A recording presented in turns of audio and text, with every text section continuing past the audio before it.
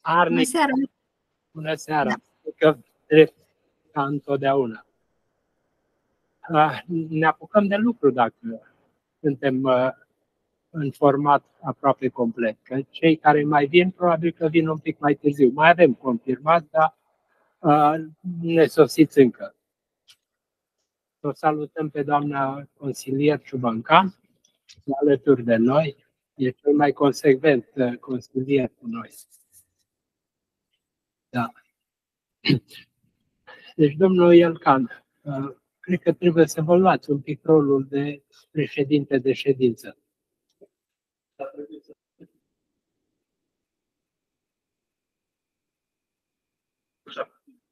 Se aude? Bună seara, doamnelor și domnilor. Eh, Prima dată sunt eh, primul la microfon și știu de ce.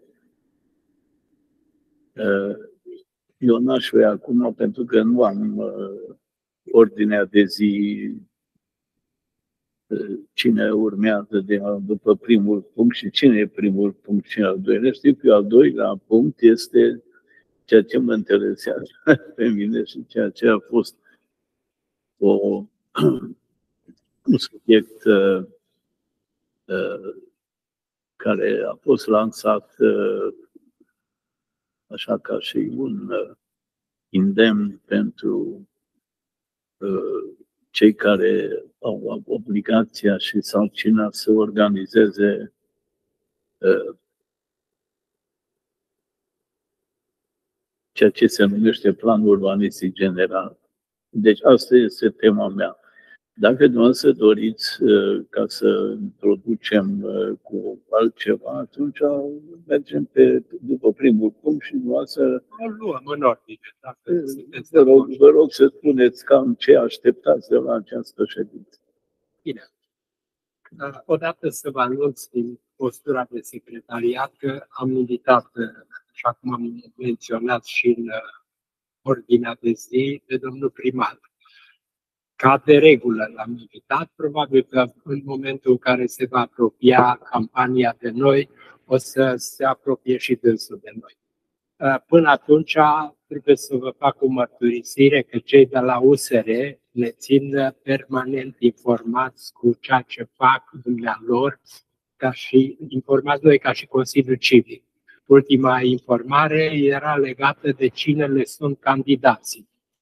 Și mi-am permis să dau un răspuns operativ ca să nu îi pun pe așteptat foarte mult. Am zis că noi, făcând o monitorizare de patru ani a Consiliului, a Consiliului Local și a consilierilor locali, uh, ne putem permite să sugerăm că ar trebui ca cei mai îndreptățiți candidați să fie evaluați cei care au reprezentat USR-ul în Consiliul Local. Noi avem niște evaluări pe patru ani și oricând le putem sta la dispoziție cu ele, dar până atunci să ia act că avem disponibilitatea ca în momentul în care începe precampania și campania electorală să cunoaștem programul pentru Cluj, să cunoaștem candidații și chiar să avem întâlniri de evaluare. Știți bine că am propus uh, o întâlnire uh, pe pe agenda noastră cu consilierii locali, probabil în ianuarie. Probabil, dacă vor accepta, să avem o întâlnire de discuții în care să spunem, noi credem așa, voi credeți așa, noi am văzut așa, voi ați văzut așa. Până la urmă, cred că o discuție deschisă, sinceră, poate ajuta și campania și Consiliul Civic și să fim mulțumiți de ceea ce uh, am muncit. Pe de altă parte, așa cum ați văzut tot uh, în uh, convocator, l-am uh, invitat pe domnul Daniel Pop, arhitectul șef uh, de la municipiu. Uh, Ieri a fost ultima discuție la cabinetul dânsului cu informarea că începând de astăzi este în concediu și am face bine să-l înțelegem. Și atunci vă fac doar comunicarea că e în concediu de odihnă, presupun, uh, pentru că n-a precizat ce fel de concediu. Ca care nu vom avea preopinent astăzi și nici uh, vreo dispută pentru că uh, nu avem uh, invitatul prezent. Legat de punctul 1 al ordinii de zi, am încheiat un raport sau am conturat un raport uh, de pagină și jumătate, nu foarte lung, în care am remarcat practic ceea ce s-a întâmplat la ședința din 3 noiembrie, ședință ordinară a Consiliului Local. La această ședință uh, au fost uh, prezenți 22, 24, uh, se mai, mai vin și pe parcurs. Deci, în final, s-a votat pe 24 de uh, prezențe uh, din cei 27 de consilieri. Uh, am remarcat faptul că sunt tot mai evidente neputințele consilierilor din PNL-UDMR de a ieși individual sau colectiv în dezbateri și aprobări cu proiecte din inițiativa lor, în timp ce proiectele de HCL inițiate de consilierii opoziției stau în așteptare. Uh, remarc că se ridică problema în timpul ședinței când ne puneți pe ordinea de zi și proiectele noastre, a celor uh, care au proiecte. Da, sigur că e decizia uh, bine greu.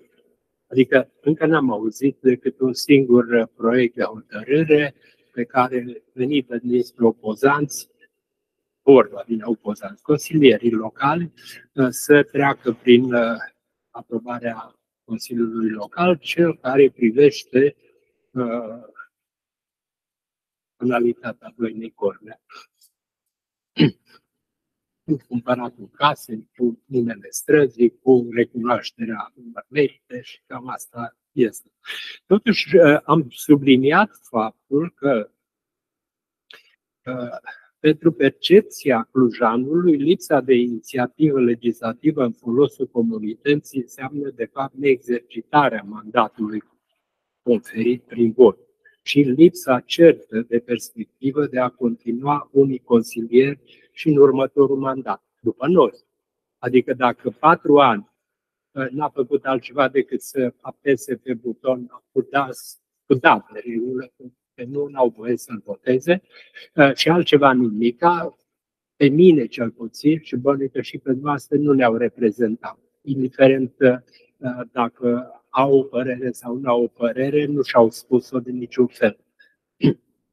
și apoi am subliniat încă un lucru, că domnul primar Emil Boc și asta cred că o puteți vedea toți, cel puțin o dată pe lună, dar dacă sunt două, trei ședințe de Consiliul Local, aduce la zi informările uh, pentru consilierii locali, dar și pentru cetățeni, cu privire la stadiul proiectelor care sunt în derulare. Clujare, într-adevăr, proiecte mari, proiecte serioase și lumea e interesată să, să știe uh, ritmul în care se desfășoară lucrurile.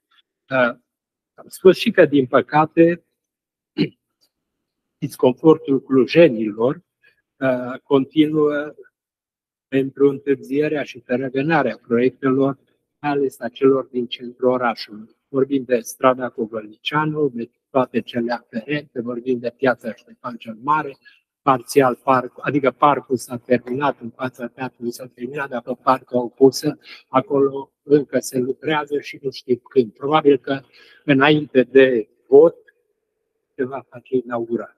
Probabil, poate fi și asta o strategie, dar uh, ce mă surprinde este că în discuțiile din aici, din Consiliu, uh, nu prea am văzut consilieri, consilieri locale întrebând, domn primar, dar de ce merge așa nevoios?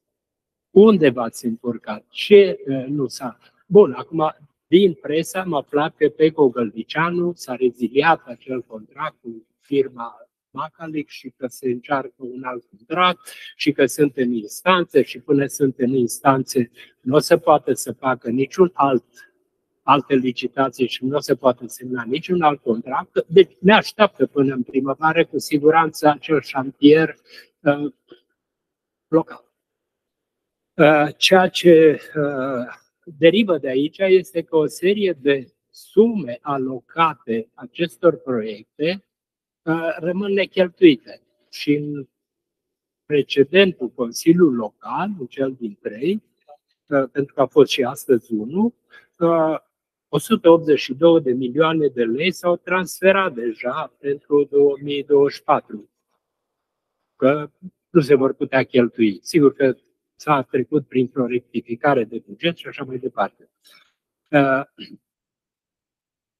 execuția proiectelor de infrastructură, în schimb, calea moților, calea Mănășturul, linii electrice, strada Oțetului, strada Mărginașe, uh, au fost uh, susținute de Consiliul Civic, mai ales prin vocea domnului arhitect Tudose.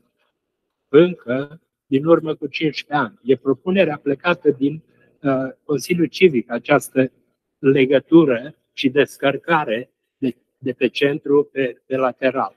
Uh, prezentarea uh, proiectului și a rezultatului, pentru că s-a recepționat, a fost cât se poate de, de binevenită și s-a explicat acum, mai bine ca niciodată până acum, cât de facil a, a devenit ieșirea din acea, acel a devenit ieșirea din acea intersecție și câte zone de descărcare după ieșirea din ea există, ceea ce e de salutat. Uh, am văzut însă și vă informez, dacă n-ați urmărit ședința de Consiliul Local, că există uh, o, un șir de tensiuni uh, de mai multe luni în Consiliul Local pentru proiecte uh, de execuție de construcții, uh, majoritatea private și care uh, trec prin Consiliul Local de regulă cu o parte de voturi de aia cu da, de care vorbeam mai degrabă și care sunt o majoritate de 17, cred, sau 18, și voturi împotrivă sau voturi neexprimate, adică abține. Ceea ce duce la o încordare uh, continuă a felului în care se aprobă proiectele.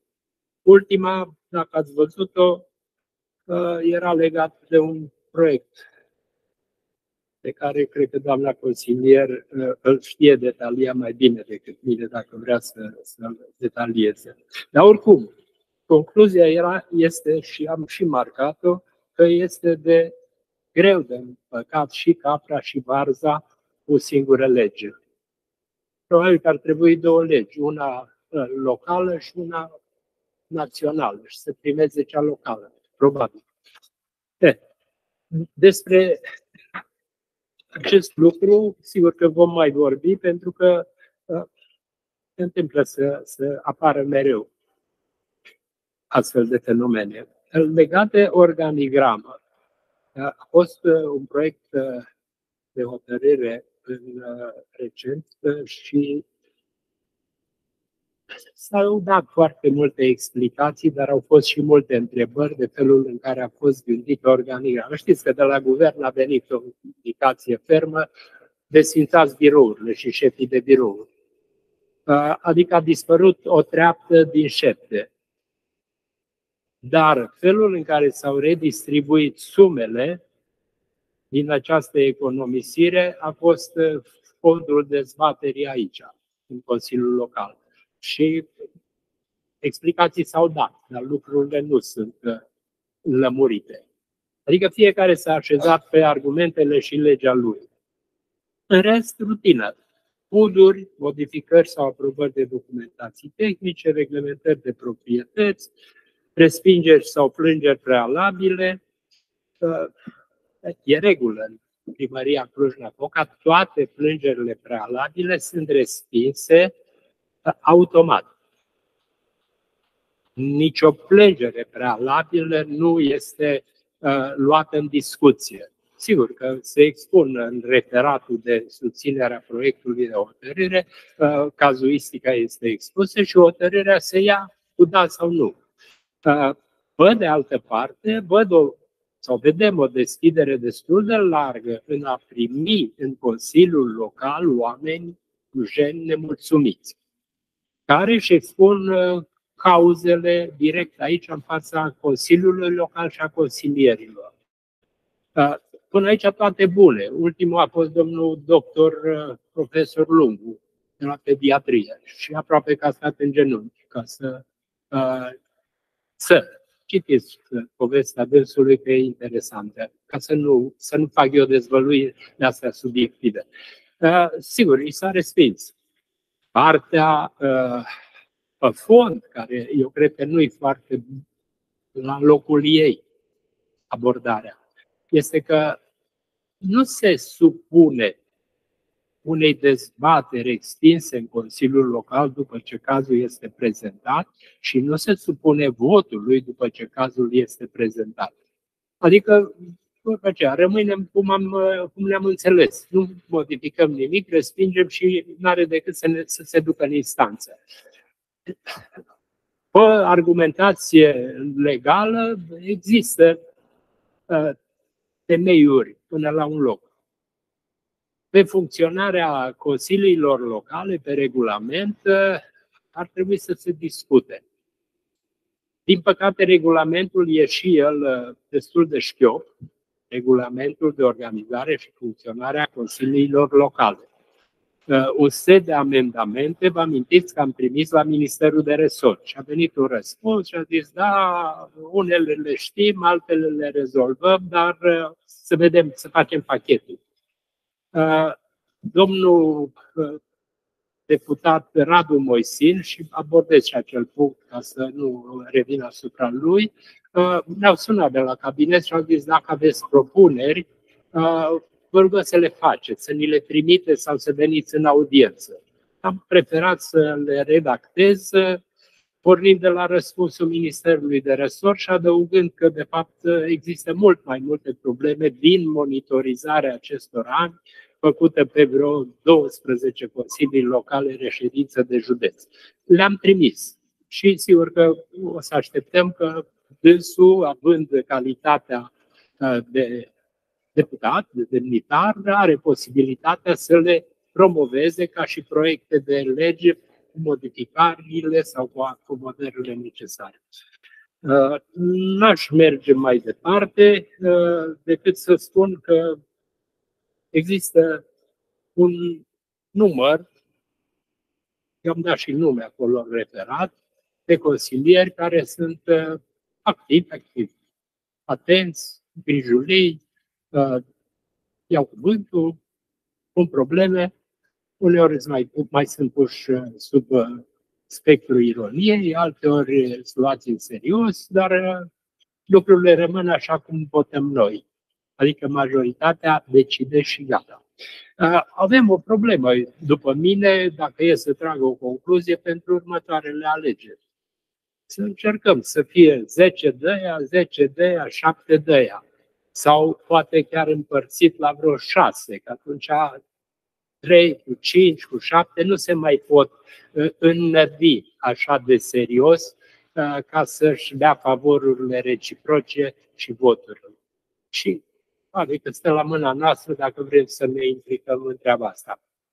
Poate după posibilă întâlnire cu consilierii locali, dacă vor accepta să avem o întâlnire, o să propunem secretariatului, dacă sunteți de acord să o facem, în program am pus-o, deci în program există. Și să vedem dacă într-adevăr putem uh, avea un face-to-face, față în față și să avem o discuție ca apoi să cerem listele celor care vor veni să candideze și apoi să avem, dacă e posibil, niște întâlniri cu ei și apoi să ne și exprimăm ce credem noi despre. Că partidele, citesc presa, au început să ia cotizațiile pentru cei care candidează. Deja se fac colecții, colectările. Știți cum vine asta. Dai atâta ca să-ți dau funcția asta. Da, dacă am zis prea mult, cer scuze, am încheiat cu punctul acesta. Legat de actualizarea pugului, aș vrea doar să spun așa. Am primit un răspuns aproape identic cu cel dinainte, cu câteva luni, dar atunci ni s-a dat și un material suport de data asta s-a făcut numai trimitere la specificații.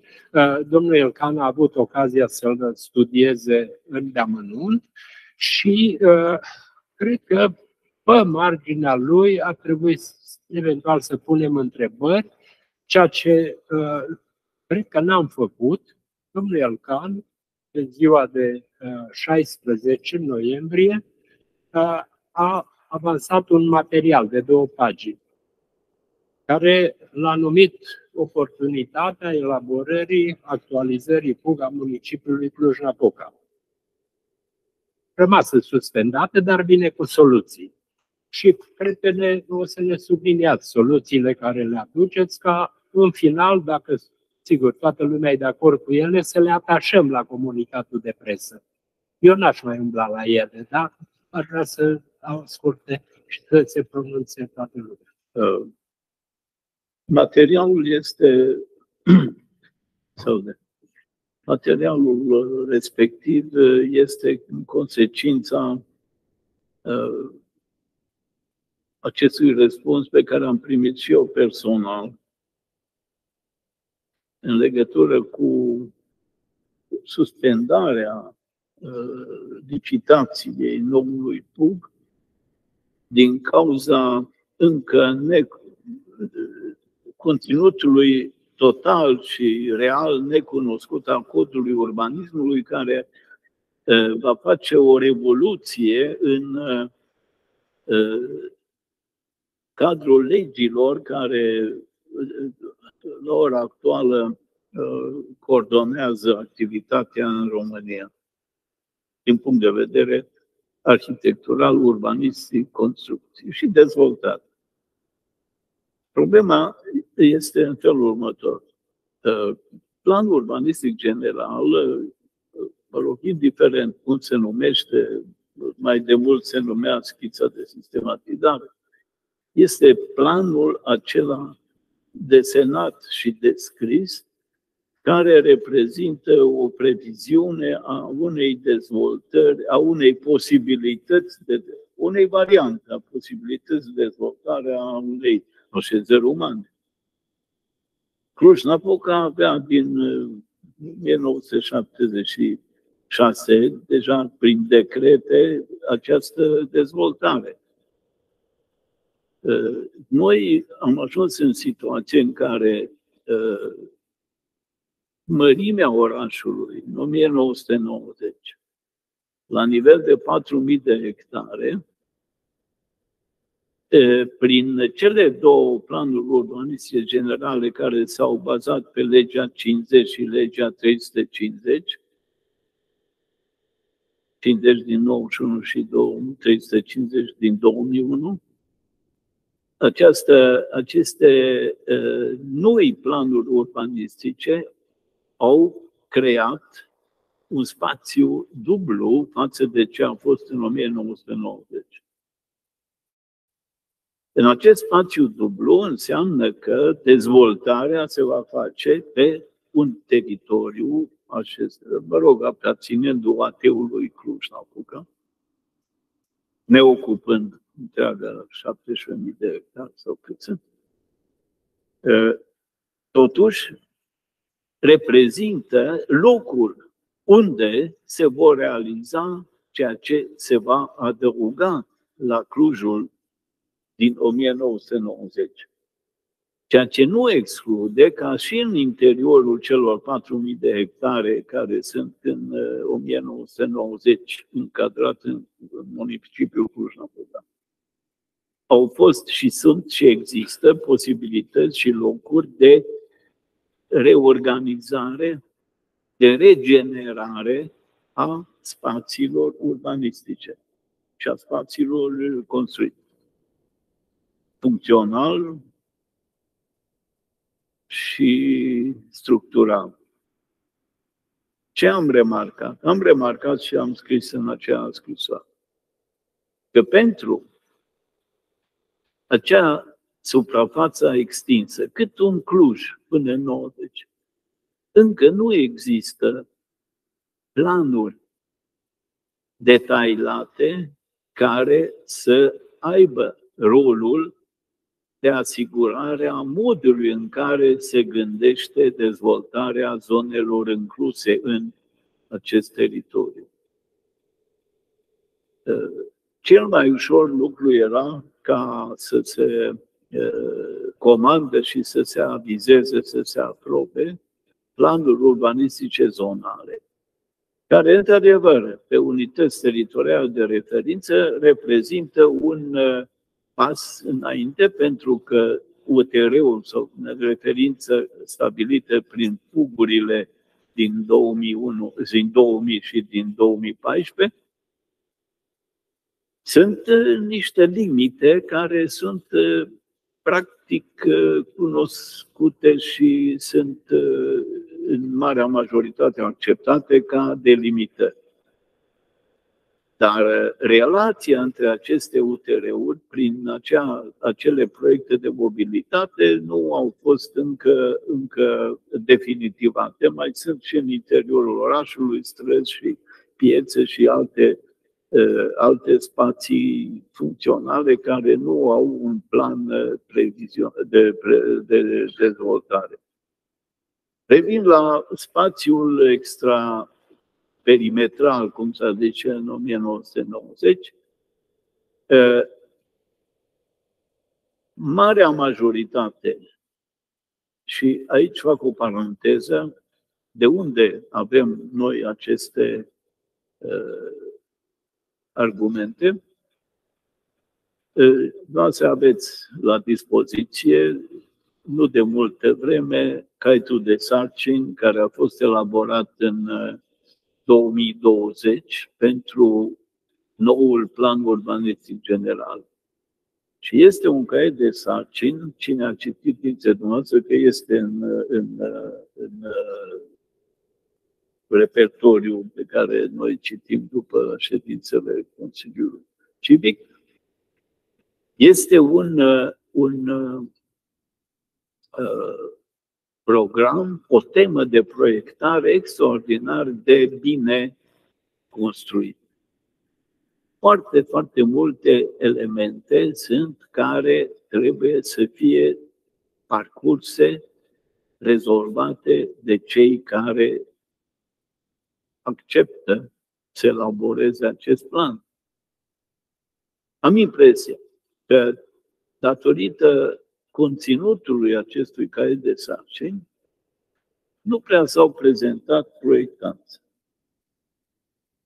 Nu prea s-a, și s-a prezentat acel proiectant care până la urmă n-a reușit ca să poată să asigure, adică să construiască o, un sistem de relații între, între proiectant și beneficiar și atunci a renunțat.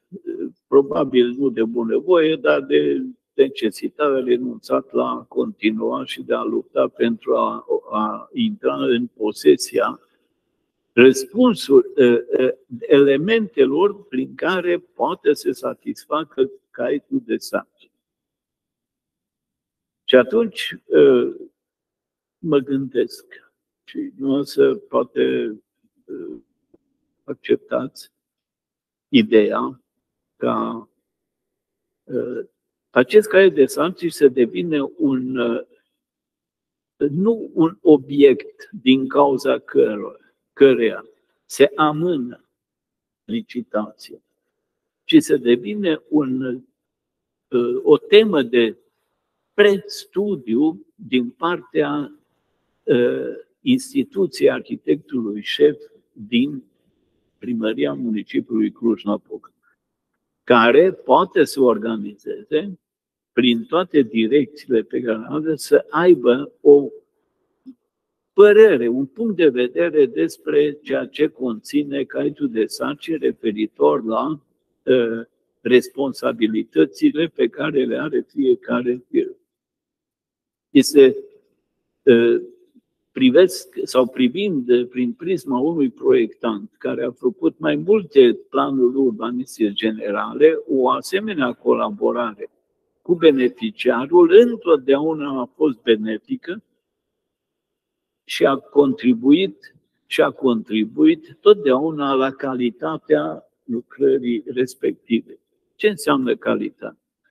Calitatea unui plan urbanistic general înseamnă ca să fie un material permanent în mână, deci nu este un material uh, care e ca o piesă de bibliotecă și se pune undeva, ci este un material la care se lucrează la punerea în aplicare prin denumirea activității, gestiunea uh, uh, realizării planului de, uh, de perspectivă și general respectiv.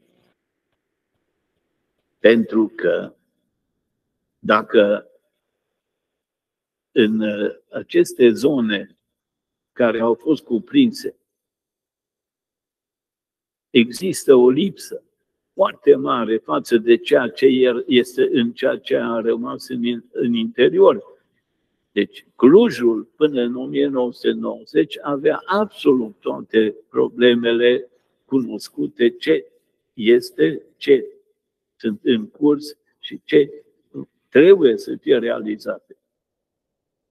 Dar ceea ce este în afara acestui perimetru nu se știe, că nu există un asemenea, o asemenea abordare din partea beneficiarului. Și beneficiarul este, primă, adică este uh, Cluj, Nopok. Este colectivitatea, comunitatea, oamenii care utilizează această așezare umană. Deci, uh, undeva trebuie să se creeze un nucleu aici, în această casă, care să aibă rolul de a lua la, uh, cum să zice, la uh, desfăcut și la a face să se cunoască, să cunoască ei ceea ce s-a dat ca temă. Pentru că colectivul care a lucrat această temă, nu să trebuie să vă uitați la, la paginile de, de început câți elaboratori, sunt o serie de profesii, o serie de oameni care au dat câte ceva. Acum, acea sinteză să nu așteptăm că se va face de către un proiectant din Târgu Jiu sau din București sau din Iași.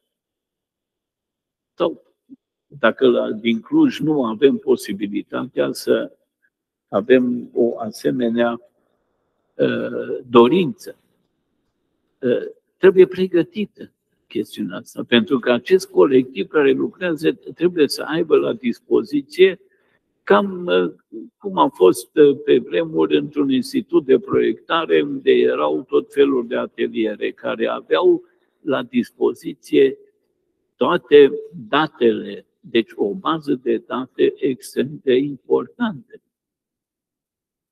Ruperea contractului cu acest sinergic a fost tocmai pentru că ei nu au avut la dispoziție aceste baze de date.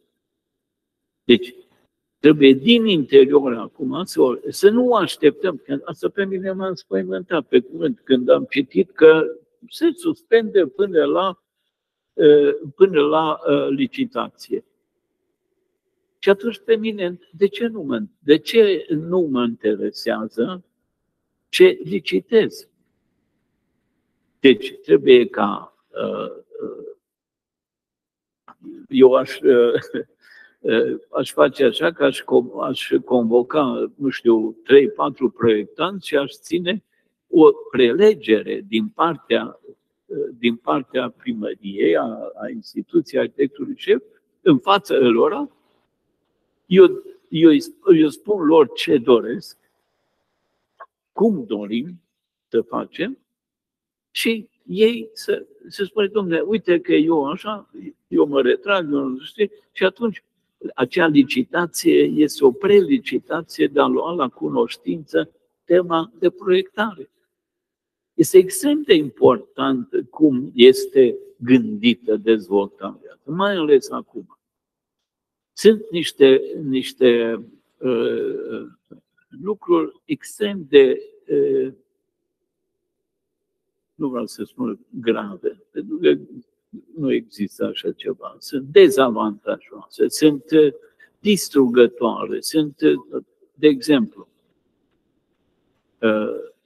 în zonele în care există această extindere și nu avem un plan de rețea stradală viitoare, pentru că așteptăm să fie un concept care să spună unde, ce anume se amplasează, ce lipsește. Am vorbit despre anumite funcțiuni necesare zonelor de locuit atunci trebuie să spunem că în zona respectivă nu să gândească proiectantul ce, ce îmi lipsește mie, cum rezolv și cum pot să spun într-un caiet de, într-un certificat de urbanism că teritoriul pe care cere uh, certificare uh, să ceare avizul nu știu cui, sănătății, nu știu ce, să spune cât ce este nevoie. Nu. Eu trebuie să știu în casa asta că în zona mea de, uh, să zicem, uh, Valea Chinteului, Valea Fâneațelor sau zona respectivă, ce lipsește? Adică, adică ca să vedem întrebări dacă sunt.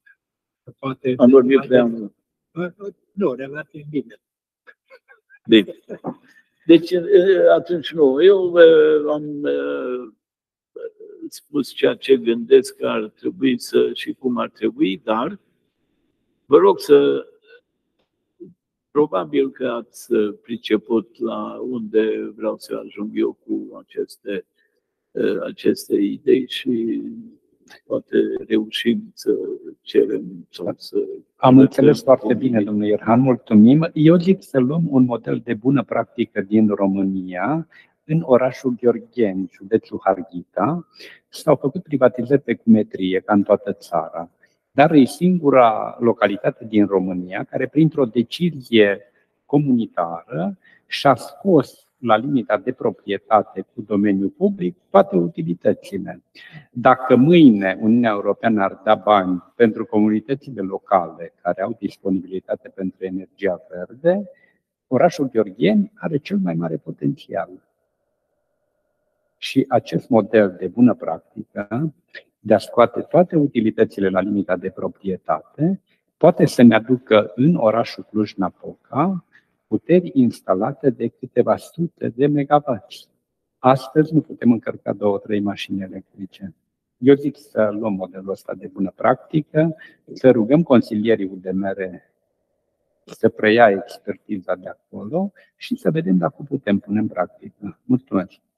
Doamna Ciubancan, doamna consilier. Da, eu vreau să-l întreb pe domnul arhitect Elcan. Ați spus că uh, caietul de sarcini uh, cu referire la pugul care ar trebui să se realizeze este foarte bine făcut. Uh, suma alocată acestui proiect, acestui, acestei alocări este bună? Suma care s-a alocat pentru acest proiect? Ați studiat, nu? Nu. Nu, ok. Uh, o altă întrebare a mea, dacă, dacă se poate. Ați spus că este foarte bun Pugu. Dacă considerați că upgradarea permanentă la situația existentă a firmei care va câștiga acest proiect, da, este necesară sau nu? Adică elaborăm un PUG, îl facem, dar ea, în continuare, pugul acesta, nu, nu-l actualizăm odată la 4-5 ani, să rămână aceeași firmă care să uh, upgradeze pe parcurs necesitățile clujenilor pe partea de urbanism. Dacă o considerați de cuvință. Mulțumesc. Uh, eu am un concept personal pentru cum funcționează, cum ar trebui să funcționeze Uh, o asemenea. Însă n-am reușit uh, până în prezent și cred că nu voi reuși ca să transformăm, uh, ca să transformăm organizarea administrativă a acestui segment. Și nu vreau iarăși să iau ca exemple ai alte țări. Într-o țară europeană, uh,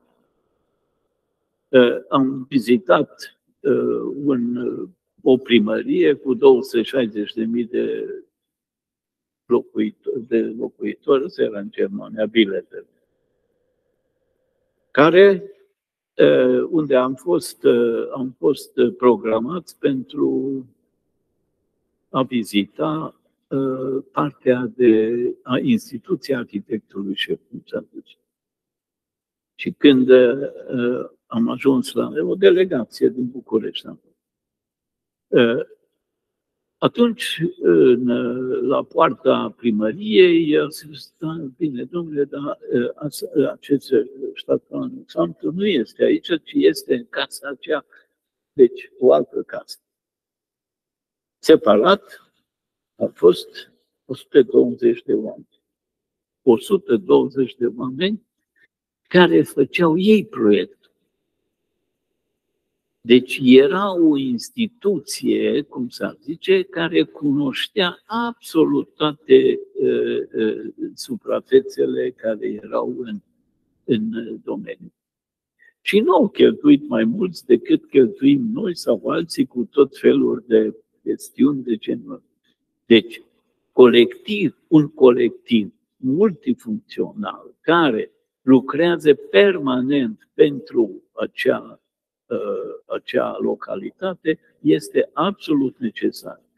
Și, culmea, că noi nu am avut voie să ne extindem în, în, în, în clădirea respectivă decât într-un colț unde este acesta. Era o machetă în centrul uh, sălii respective și uh, pe pereți erau, ca și aici în imagine, acolo erau proiecte. Proiecte și acolo, din acest pug, cum s-ar zice. Iar pe zonele respective care erau în studiu, erau niște calculi care erau puse pe. Scuze că intervin, ca să fim puțin mai concreți. Dumneavoastră vorbiți de puzuri acum, da? Nu, nu. Eu vorbesc, vorbesc de organizarea instituției arhitectului șef care are, într-un fel, este independent politic, într-un fel, profesionist, care trebuie să soluționeze tehnic absolut toate problemele legate. Nu este normal ca pentru dezvoltarea unei localități în care eu m-am specializat sau sunt, suntem angajați în eu să cer de la altul să-mi facă mie uh, proiectul de dezvoltare. Este aberație. Dacă eu vreau, am o piață, am ceva care trebuie să fie organizat arhitectural, ceva, atunci scot-o într-o licitație chiar internațională. Și participă lumea și vede, vine aici și organizează ă, acel colț, fațadă sau chiar pentru o clădire sau mai multe clădiri. Dar acel grup care gândește regimul de înălțime, densitatea, ă, cum să spun, ă, plan, uh, plan, adică amplasarea în teritoriu a dotărilor social-cultural, comerciale, uh, chiar uh, industriale, aia trebuie să fie a lor. Dar noastră, la realitățile Clujului, cu atâta lobby al dezvoltatorilor pe care îl vedem că se manifestă astăzi, credeți că o astfel de organizare care să-i dai arhitectului șef atât de multă putere e bine sau ne trebuie spre mai rău? Pentru că arhitectul, da, pentru că arhitectul șef este, este obligat să, să aibă, mă rog, acea experiență care trebuie să aibă și uh, să, se, să fie uh, subordonat numai unor alegeri de variante pe care prezintă superiorilor și politicului care este din dar variantele sunt studiate, studia. Și aceste variante s-ar putea să fie nu că unitate, adică obiectul sau obiectivul, ci când se va face. Și atunci anumite orientări politice, că nu eu vreau școala înainte, nu eu vreau spitalul înainte, eu vreau cutare. Deci există o, o posibilitate de a chiar de a lucra la ceva care este gândit din, chiar din punct de vedere politic, dar tehnic trebuie. Avem la ora actuală în Cluj niște zone în care nu știi de unde a apărut, adică cum a apărut nestudiate, în zona de extindere. Am scris în asta că tema de proiectare, caietul de sarcini, spune în cele, cele mai multe procese pierdute de Consiliul Local de, pe tema urbanismului sunt în zonele de extindere, pentru că acolo nu s-a avens pe problemă de planuri generale mari, ci fiecare parcelă avea dreptul să-și facă un puz care nicăieri în lume nu este valabil. Domnul Drăghic are și dânsa, dânsul întrebare. Da. Până în 89, la nivelul Clujului, exista Institutul Proiectului. Da. Cu onoare am lucrat și domnul arhitect în casă. Acesta avea responsabilitatea realizării cubului și oarecum ideea pe care o susține domnul Kant este ca la nivelul primăriei să fie un colectiv de arhitecți care să realizeze și să urmărească în timp atât. Sau ideea pe care o prezentați dumneavoastră la Balcan, odată ce o firmă câștigă un pug, la, eventual să, să aibă un contract mai lung ca să upgradeze permanent acel pug și să-l urmărească, să-l țină la curent. Dar cea mai bună idee ar fi asta propusă de domnul Trump, ca la nivelul primăriei să existe un colectiv care să urmărească permanent respectarea pugului și upgradarea acestui pug. Pentru că aceste modificări se fac, uh, vorba aia, săptămânal în, uh, în, în, într-un pug. Poate că nici nu termină aia uh, proiectul de pug și deja s-au făcut nu știu câte modificări. Pe de altă parte, să nu uităm că am intrat în era digitală. Deci, la ora actuală, s-a nu să fi obligatoriu ca acest PUC să fie transpus într-un program informatic, să toată baza de date să o pot să găsi pe calculator. Deci, revin, până în 89 exista, tot Clujul era caroiat în niște uh, planșe 1 la 1000, pe care toți deținătorii de rețele de instalație era obligat să-și traseze instalațiile subterane, pentru ca să dea avize. La ora actuală nu mai există aceste plan. Înainte de a pleca de la Electrica, Electrica și-a realizat în proporție de 70% pe calculator toate rețelele de medie tensiune, postul de transformare, cable, care se găseau în sistem informatic digital.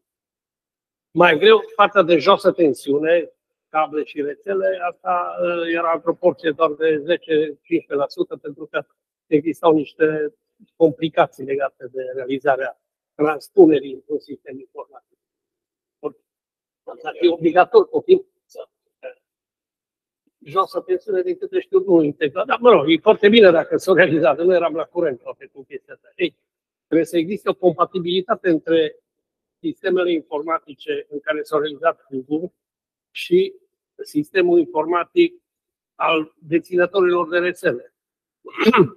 Sunt convins că și cei de la apă și cei de la gaz au același lucru și sunt mult mai avansați în domeniu. Întrebări, dacă mai sunt. Eu aș zice să apelăm iarăși la un model de bună practică, mă refer la statul Chile, care era măcinat de corupție în domeniul urbanismului, a venit un cutremur devastator. Și atunci politicul a luat decizia simplificării complet a urbanismului și au rămas trei actori importanți. Arhitectul, care e Dumnezeu, finanțatorul și vecinii direcți. Iar arhitecții în cadrul competiției interne, se străduiesc să facă lucrurile cele mai bune. N-au avut nici o clădire căzută, o viteză de dezvoltare de excepție, iar tot sistemul de corupție a fost răpus printr-o singură lege. Eu zic să reflectăm la lucrurile astea. Mulțumesc! Da, mulțumim. Cine mai dorește?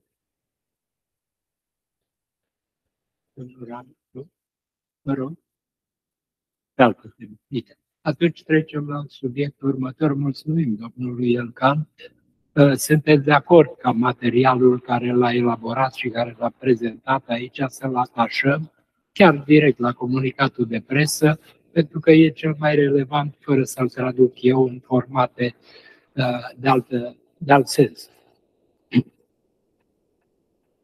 La punctul uh, următor, punctul 3 era solicitarea pentru o dezbatere publică pentru prezentarea și completarea programului climatic la Cluj-Napoca. O scrisoare formalizată în 26 octombrie. I-am pierdut urma pentru că această solicitare n-a intrat în evidența registraturii.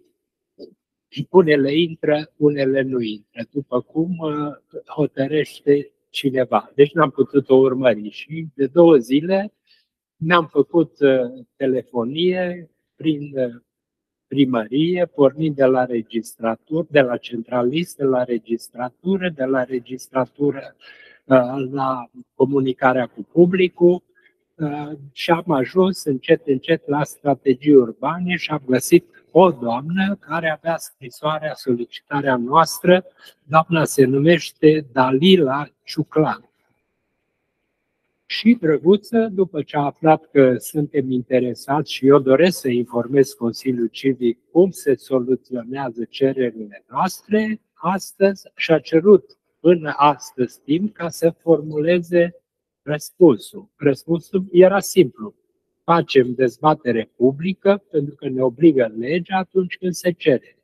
Răspunsul dânsei are două pagini și se referă cu deosebire la ceea ce s-a făcut sau se face în municipiul Cluj-Napoca pe această temă.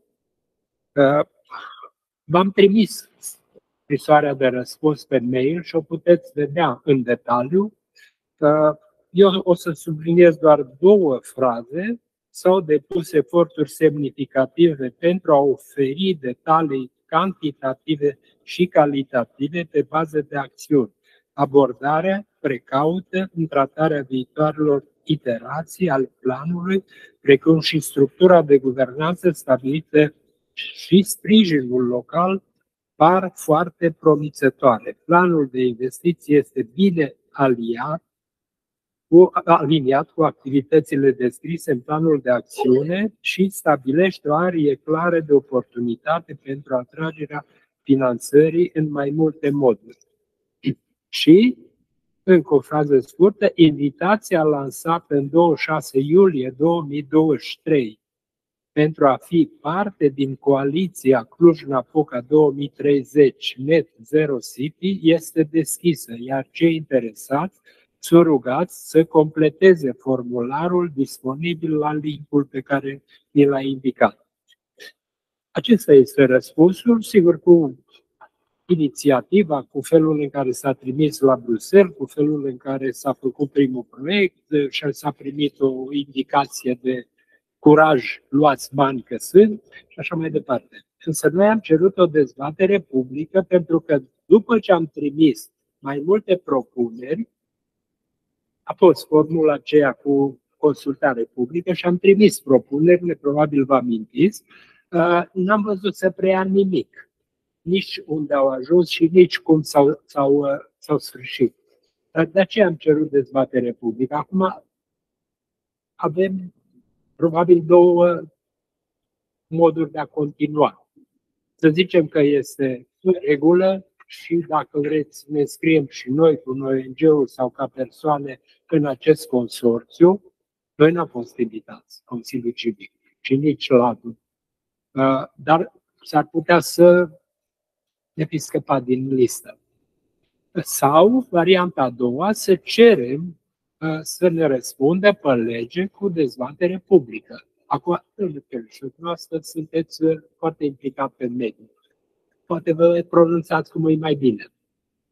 Uh, m-am întâlnit întâmplător cu doamna Dalila luni la un workshop unde mi-a spus că știe despre cererea noastră și că ne va transmite un răspuns, dar uh, ca să subliniez necesitatea dezbaterii publice și aș insista pe această dezbatere, este ca să aducă toți actorii din domeniul acesta la un loc și măcar instituțiile să știe una de alta. Și dau un simplu exemplu și o să lămurească complet. Uh, scopul uh, proiectului Uh, net zero, zero net, este ca până în 2030 să obținem neutralitatea climatică a Clujului. Uh, este foarte ambițios, însă Consiliul Județean tocmai a scos la licitație uh, proiectul pentru dezintegratorul molecular, care se va baza pe valorificarea energetică a deșeurilor și am făcut un calcul simplu la cantitatea de deșeuri care va fi valorificată energetic, surplusul de emisie în atmosferă va fi de 60 de milioane de kilograme de dioxid de carbon și nu întâmplător 60 de milioane de lei va costa proiectul. Deci un proiect a Consiliului Județean de 60 de milioane de lei emit va duce la emisie în atmosferă 60 de milioane de kilograme de bioxid de carbon anual, în timp ce există un proiect de neutralitate climatică. Uh, ar fi trebuit să știe cele două instituții una de alta și de proiectele lor și să și le includă în strategii. Deci asta arată necesitatea unei dezbateri pe față cu toate cărțile pe față și să știm dacă s-au luat în considerare sau nu toate aceste date. Putem să avem și noi aceste două proiecte? Puteți să ni le dați proiectele? Cele două proiecte despre care vorbiți? Da, le, le putem. Sunt, să public, le dați. sunt da, publice, sunt publice, le avem, da, le avem descărcate, le, le putem, okay. Mulțumesc. le putem transmite. Dacă vrem ceva... Indirect spuneți că pledați pentru a insista să aibă loc dezbaterea publică. Da, neapărat. Pentru... Dacă vrem uh, o dezbatere verde și un sprijin verde uh, bine organizat, în România sunt trei instituții verzi cu adevărat pe care vă jur că le putem certifica. Păi Biroul Băncii Mondiale, reprezentanța Uniunii Europene la București și președinția României. Restul îi o supermafie ă, la care vreau să exemplific lucrurile. A venit ministrul Tantoș Varna, am eu banii în minister pentru 150.000 de case verzi. A venit premierul Ciucă, a redus la 88.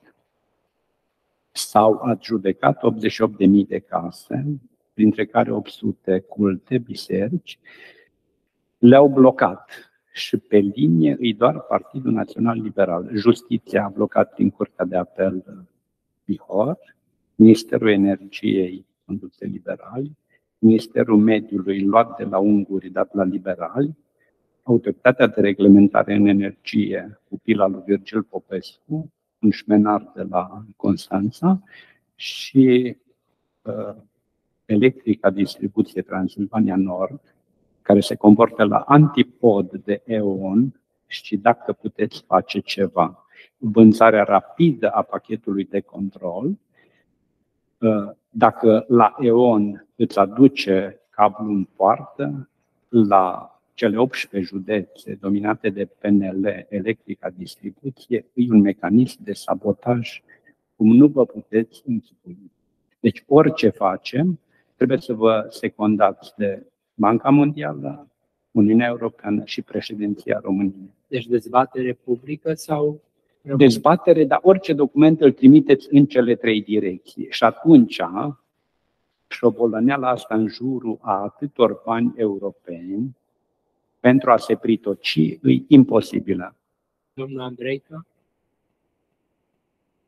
Păi, eu ziceam mai, mă sublineam uh, într-adevăr necesitatea dezbaterii publice, tocmai în ideea în care domnul, zicea domnul Coroșoi, în felul ăsta vor afla unii de alții. Că se pare, la acest moment, nu știu ce fac unii și ce fac alții. După dezbatere publică nu mai există niciun fel de, de motivație pe tema asta. Toată lumea știe de toată lumea. Și mai ales uh, va participa societatea civilă acolo. Despre asta e vorba. Deci voi face o revenire pentru respectarea legii. Exact. Înscris, frumos, cu număr de înregistrare, trebuie să răspundă în 30 de zile. Dar propun să ne înscriem și în coaliția pentru neutralitate climatică, ca să fim și noi la curent Exact. cu ce fac, direct de la sursă. Fie, fie ca și Consiliul Civic Local și plus organizațiile din cadrul Consiliului, fiecare în parte, să fim cât mai mulți acolo. A, mai ales cele de mediu. Uh, Aveți acolo indicat pe scrisoare și puteți să, să o faceți și ca organizație. Bun. Trecem la punctul uh, următor. Punctul următor e legat de propunerea doamnei Ludușan pentru o dezbatere publică de fotovoltaici, în care, dacă vrea să argumenteze mai mult, poate să o facă acum și vă așteptăm cu, cu poziționări profesionale. Doamna Ludușan, Uh, Da.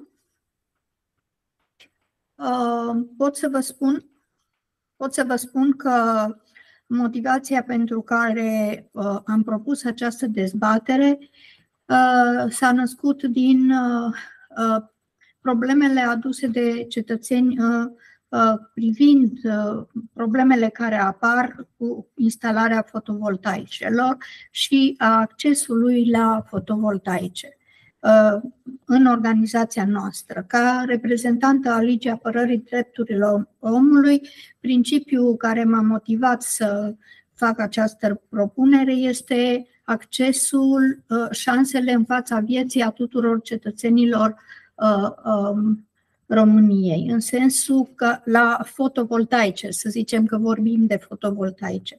Pare că puțin exagerată problema asta, dar nu este pentru că atât legislația României cât și uh, uh, politicile publice trebuie să se întemeieze pe principii de, de uh, acces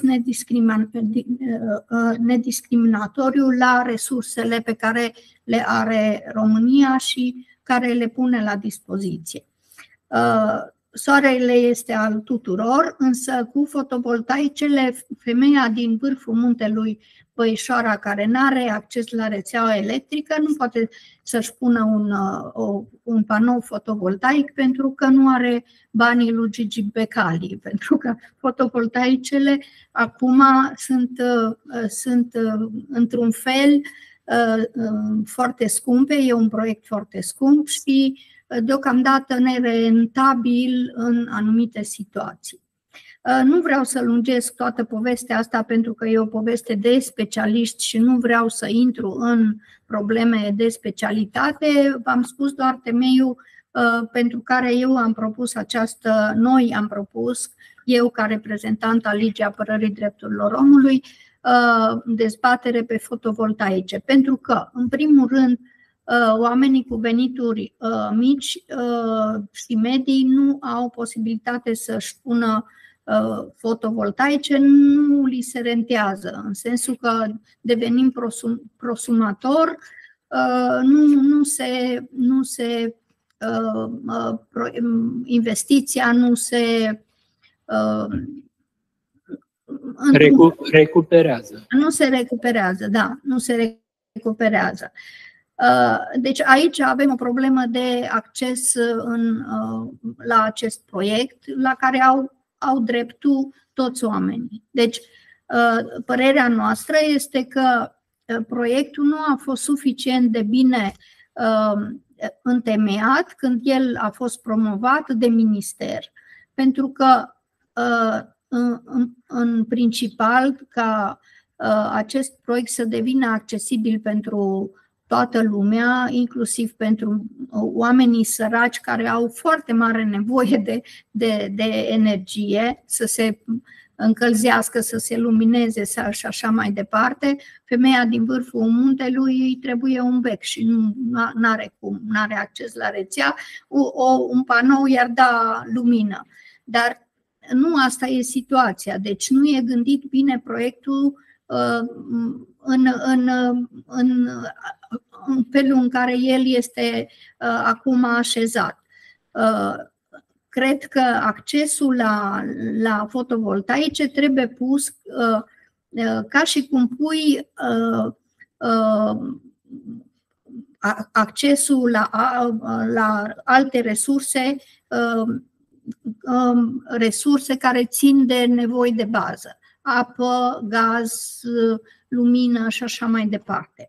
Uh, în care trebuie, ministerul trebuie să aibă rețeaua națională în mână și să știe, de exemplu, uh, să responsabilizeze administrațiile ca ele să găsească resurse uh, pentru ca oamenii din perimetrul unității lor administrative să aibă acces la această sursă, resursă verde și care e o resursă a viitorilor, viitorului. Uh, părerea noastră este că acest proiect nu a fost gândit foarte bine de pe România și ceea ce se întâmplă acum nu se întâmplă bine și noi va trebui să plătim consecințele uh, uh, mult și bine și nu, nu o să avem acces cum trebuie și toată lumea la această resursă. Mulțumesc! Mulțumim și noi, ne bucurăm că avem specialiști în sală care chiar se pot pronunța și o să-i rog să se manifeste ca apoi să tragem concluzia. Nu știu cine vrea să... Fotovoltaicele au introdus un stres enorm în România în ultimul an.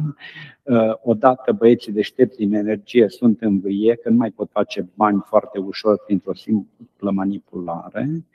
Pădurarii sunt foarte stresați că nu se mai vând atât de multe lemne, delictul silvic a scăzut și părerea mea, partidul politic care va sesiza că 800 de mii de români au stat la coadă și au scos certificat fiscal și au scos de la cadastru și au fost trași într-o mare țeapă, nu mai pot fi schimbați perspectiva unui partid verde îi uh, la orizont sau un alt partid care poate să își asume decarbonarea în mod real. Decarbonarea nu poate fi doar un mecanism de a mai atrage și a mai fura niște bani. Decarbonarea e un obiectiv extrem de serios și România pierde 5 miliarde de euro. Dacă cele 5 miliarde de euro le împărțim mâine pe vouchere și dăm la persoane pe criteriile pe care doamna Ludușan le consideră cele mai bune, ă, constatăm că facem niște pași în decarbonare, că ne speriem. Dacă luăm după aia cele șase județe cu tranziția justă, ă, bine, acolo pierdem 2 miliarde de euro, dacă împărțim la șase județe, din 300 și ceva de mii de euro. E vorba de județele care fac cea mai mare poluare, Galați, Prahova, Mureș, Hunedoara, Gorj și Dolj, parcă. Și acolo pierdem bani, pentru că mecanismul ăsta politic de pritocire de bani nu se suprapune pe o viziune de dezvoltare uh, verde serioasă. Pe puteri mici, eu sunt adeptul fiecare om să-și pună maxim 3 kW, să nu supra-solicităm rețelele, să nu cerem avize tehnice de racordare, dar important e ca fiecare cetățean, fiecare casă să aibă acces la rețele. Uh, în uh, Germania accesul la rețele e mult mai facil. La EON accesul la rețele și avizele tehnice de racordare se dau mult mai greu. În cele 18 județe în care statul e acționar și unde PNL-ul conduce, e un blocaj și un sabotaj de cea mai perfidă uh, situație și noi aici trebuie să luăm măsuri și nu văd altă măsură decât ieșirea imediată a statului, a politicului de la distribuitori.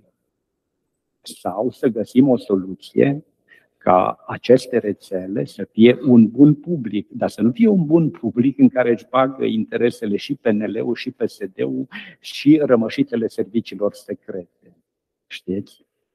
Păi e groaznic. Dar eu, dar eu despre asta vorbesc. Deci resursa asta trebuie să fie o resursă, resursă publică, bine administrată, de la minister până la uh, primăriile care uh, uh, împart, nu împart, administrează această resursă. Așa cum se administrează apa, gazele, toate alea. Deci într-o, într-o ecuație justă și echitabilă pentru toată lumea. Și nu că unii, uh, uh, unii intră, pot să intre în sistem, alții nu pot să intre și asta e o, o carcealma, după părerea mea. Există la nivelul Uniunii Europene niște directive care, dacă le-am preluat mâine, ceea ce spune doamna Ludușan, ar fi o realitate.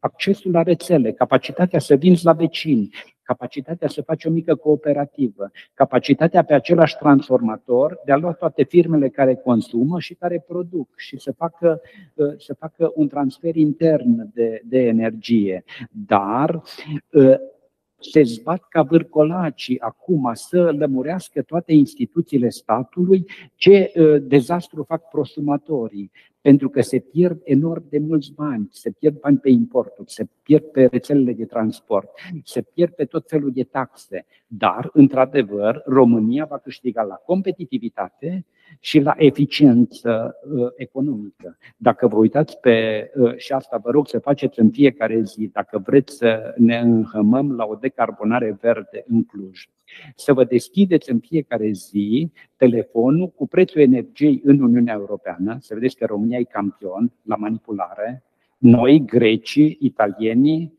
și bulgarii. Cei mai buni și cei mai competitivi sunt nordicii, care nu sunt bolnavi de furat prin politică. Al doilea lucru, să deschideți site-ul Transelectrica în timp real. Acolo vedeți importurile, vedeți exporturile și vedeți că atunci când, duminică, spre exemplu, România a exportat 2800 de megawatt. Tot exportul s-a făcut pe eolian. Dacă facem o retrospectivă a dezvoltării României, structurile astea anchilosate care trebuie să dispară și prin implozie și prin explozie și prin orice, doar au distrus în energie. Dar toți miniștrii le protejează. Adevărat de investiții verzi le-au făcut privații în eolian și fotovoltaicele care vin din fondul de mediu și investitorii privați. Acum ce se întâmplă? blocând 88.000 de case verzi fotovoltaice și cei 800.000 care au stat pe la cadastru, aici au vreo 40-50 de mii de oameni cu bani, care nu se uită la câteva mii. Și acum, în loc să-și pună 3 kW, să-și pun 10, 12. Și nu mai știu uh, nu mai știu cum să-i blocheze, nu mai știu cum să-i sperie, dar efectul îi următorul, statistică, și îl felicit aici pe președinte, cu apelat la statistică, deși, deși toate structurile de informații și din energie și din structurile care îi dau lui informații de cea mai bună clasă, a făcut un apel la statistică și a constatat că sarcina în rețele a coborât cu 20 de procente. Deci sunt trei nivele de rețele în România. Rețelele în care România e conectată la Uniunea Europeană de 400 de kV, de unde putem exporta și importa circa 3500 de MW. Sunt rețelele de 110 care sunt pe județe și unde poți modifica ploturile automat și sunt rețelele astea mici de transformatoare. Deci, pe unele o scăzut cu 18%, pe altele cu 20%. Și atunci statistica o zis, domnule, asta îmi spune. Atunci, voi de ce tu veniți să-mi spuneți că prosumatorii încurcă? Nu încurcă, ajută, încurcă băieții deștepți, încurcă pădurarii, încurcă delictul silvic, încurcă. Mulțumesc. Da. Haideți să auzim și alte păreri. Domnul Drăghiciu, vreți dumneavoastră sau încep eu? Am și graficul de la starea SEN acum. Deci, uh, înainte de toate, o să zic că eu nu mi-am uitat meseria de bază, că am lucrat unde era mai greu, la PRAM. Am intrat în instalații electrice, am văzut multe, multe, multe probleme practice, cu totul diferite de ceea ce se făcuse în facultate. Și am învățat să analizez pe bază de date. Așa că concluzia sau întrebarea mai dificilă o las puțin la sfârșit, dar vreau să încep cu atât. Cei 2700 de MW eolian din weekend sunt acum, acum două minute 383 de MW, fotovoltaic 0, pentru că nu mai avem soare la ora 18. Și ceea ce resimt mulți consumatori, a resimțit și domnul Danila personal, fluctuații foarte, foarte, foarte mari ale celor două tipuri de surse intens promovate în ziua de astăzi, eolian și fotovoltaic. De asemenea, acum, de exemplu, importăm 1300 de MW. Consum 7700, producție 6400. Și atunci, uh, dar aici asta vreau să las să discutăm mai mult. Întrebarea cred că se pune în felul următor. Care este, de fapt, scopul utilizării surselor regenerabile la nivel de locuințe, nu discutăm de nivel de parcuri. Ce dorim să obținem? Dorim ca niște oameni să poată valorifica energie electrică, să fie compensați financiar sau cu altă energie, sau dorim să protejăm niște categorii care poate nu au acces la surse de energie, poate nici măcar nu dispun de resurse pentru a avea apă caldă curentă în casă. Aici, aceasta e întrebarea la care poate ar fi bine să găsim răspunsul, poate nu astăzi, ci într-o dezbatere mai amplă. Eu, cel puțin, din propunerea doamnei Ludușan, am înțeles că astăzi ar trebui să trasăm un contur al viitoarei dezbateri și dezbaterea să o purtăm cu mult mai mulți actori. Așa cum indicat, pentru că la ora actuală se fac foarte, se fac foarte multe confuzii. Eu am scris un material pe care, din păcate, nu l-am dat numai la doamna Ludușan și probabil că dânsa nu a avut timp să, să citească, în care am explicat... L-am citit, l-am citit, l-am citit. Da, bun. Deci, există o diferență între prosumator. Deci, prosumator înseamnă că produci energie regenerabilă prin fotovoltaice și ai și posibilitatea ca surplusul pe care îl realizezi să îl debitezi în rețea. Asta înseamnă acces la rețea. Dar atunci când s-a dat uh, legea asta a prosumatorului, s-a omis un lucru foarte important. Această energie trebuie și stocată. Ori acest lucru este uh, neglijat de marea majoritate a prosumatorilor care, uh, pe de altă parte, deci scopul a fost ca, și aici zic că nu este o, o chestie discriminatorie, deci toată lumea are posibilitatea să folosească energia regenerabilă, adică să-și monteze niște panouri solare pe acoperișul casei. Discriminarea provine în faptul că această șansă au doar cei care au o, o, o casă.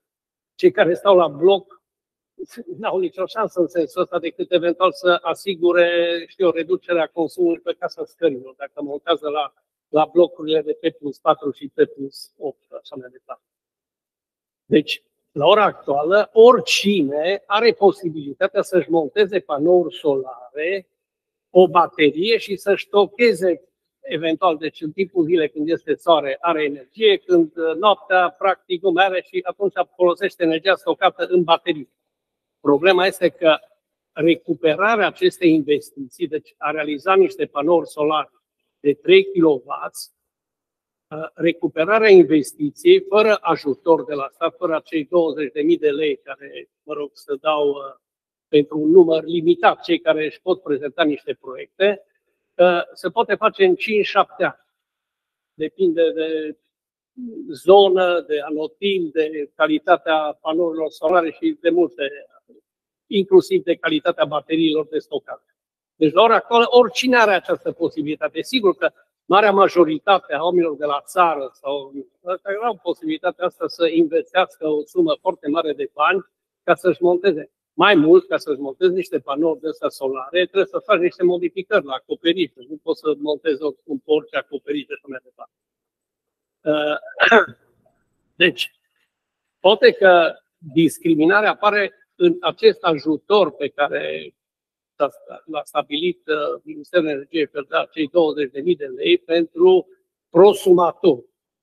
S-a avut în vedere această posibilitatea de acces la rețea și încă o mențiune unde există o mare confuzie că, vezi, doamne, electrica folosește acea, deci, cei bani pe care, adică energia care o, o debitezi în rețea este plătită de, de, de electrica furnizare. Deci nu este folosită de alții. Ne... Bun. Pe de altă parte, și-au dat seama cei din Ministerul Energiei că există multe fisuri în legea respectivă și vor să refacă acum această lege a, a energiei regenerabile. Pe de altă parte, România, la ora actuală, apropo de ce a zis și domnul uh, inginer Radu, uh, are și-a realizat norma de 42% din energia, din energia regenerabilă pe care o impus-o Uniunea Europeană până în anul 2020, 2030. La ora actuală, 42% din energia uh, uh, produsă în România este regenerabilă. Hidrocentrale, eoliene și uh, fotovoltaice. Problema, marea problema a României e că nu poate stoca această energie. Și nu poate stoca această energie atunci când funcționează din plin eolienele, pentru că nu există niște hidrocentrale cu pompaj, chiar și uh, investiția de la, de la Tarnița Lăpuștești uh, uh, trenează de ani de zile și probabil că nici peste 5 ani de zile nu va fi, sau mă rog, acum am înțeles că urmează să se liciteze un studiu de prefezabilitate, că înseamnă că peste vreo 5 ani o să se liciteze mă rog, o să fie gata studiul de fezabilitate. Și, și acum, marea, marea uh, provocare este de a se uh, uh, stoca această energie în baterii. Ca fiecare care realizeze să se desfințeze, adică să se reducă drastic uh, numărul de prosumatori cu acces în rețea, pentru că produce niște perturbări deosebite în rețeaua de distribuție niște variații de tensiuni. Deci atunci când ai sarcină mare, ai tensiuni, îți scap tensiunile, când nu ai sarcină, îți ridică și așa mai departe. Da. Am pus pe grafic, domnul da. Drăghiciu, să vedem starea sistemului energetic da. și se vede, pot să prezint și cealalt cu variațiile pe tipuri da. de surse, dar e, e, e puțin mai greu de citit. Aici se vede, pentru că pentru cei de specialitate suntem acum în vârful de consum de seară.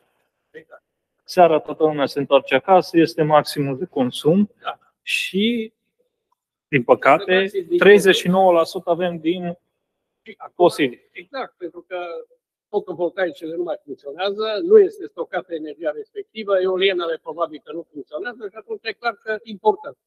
Și asta e situația.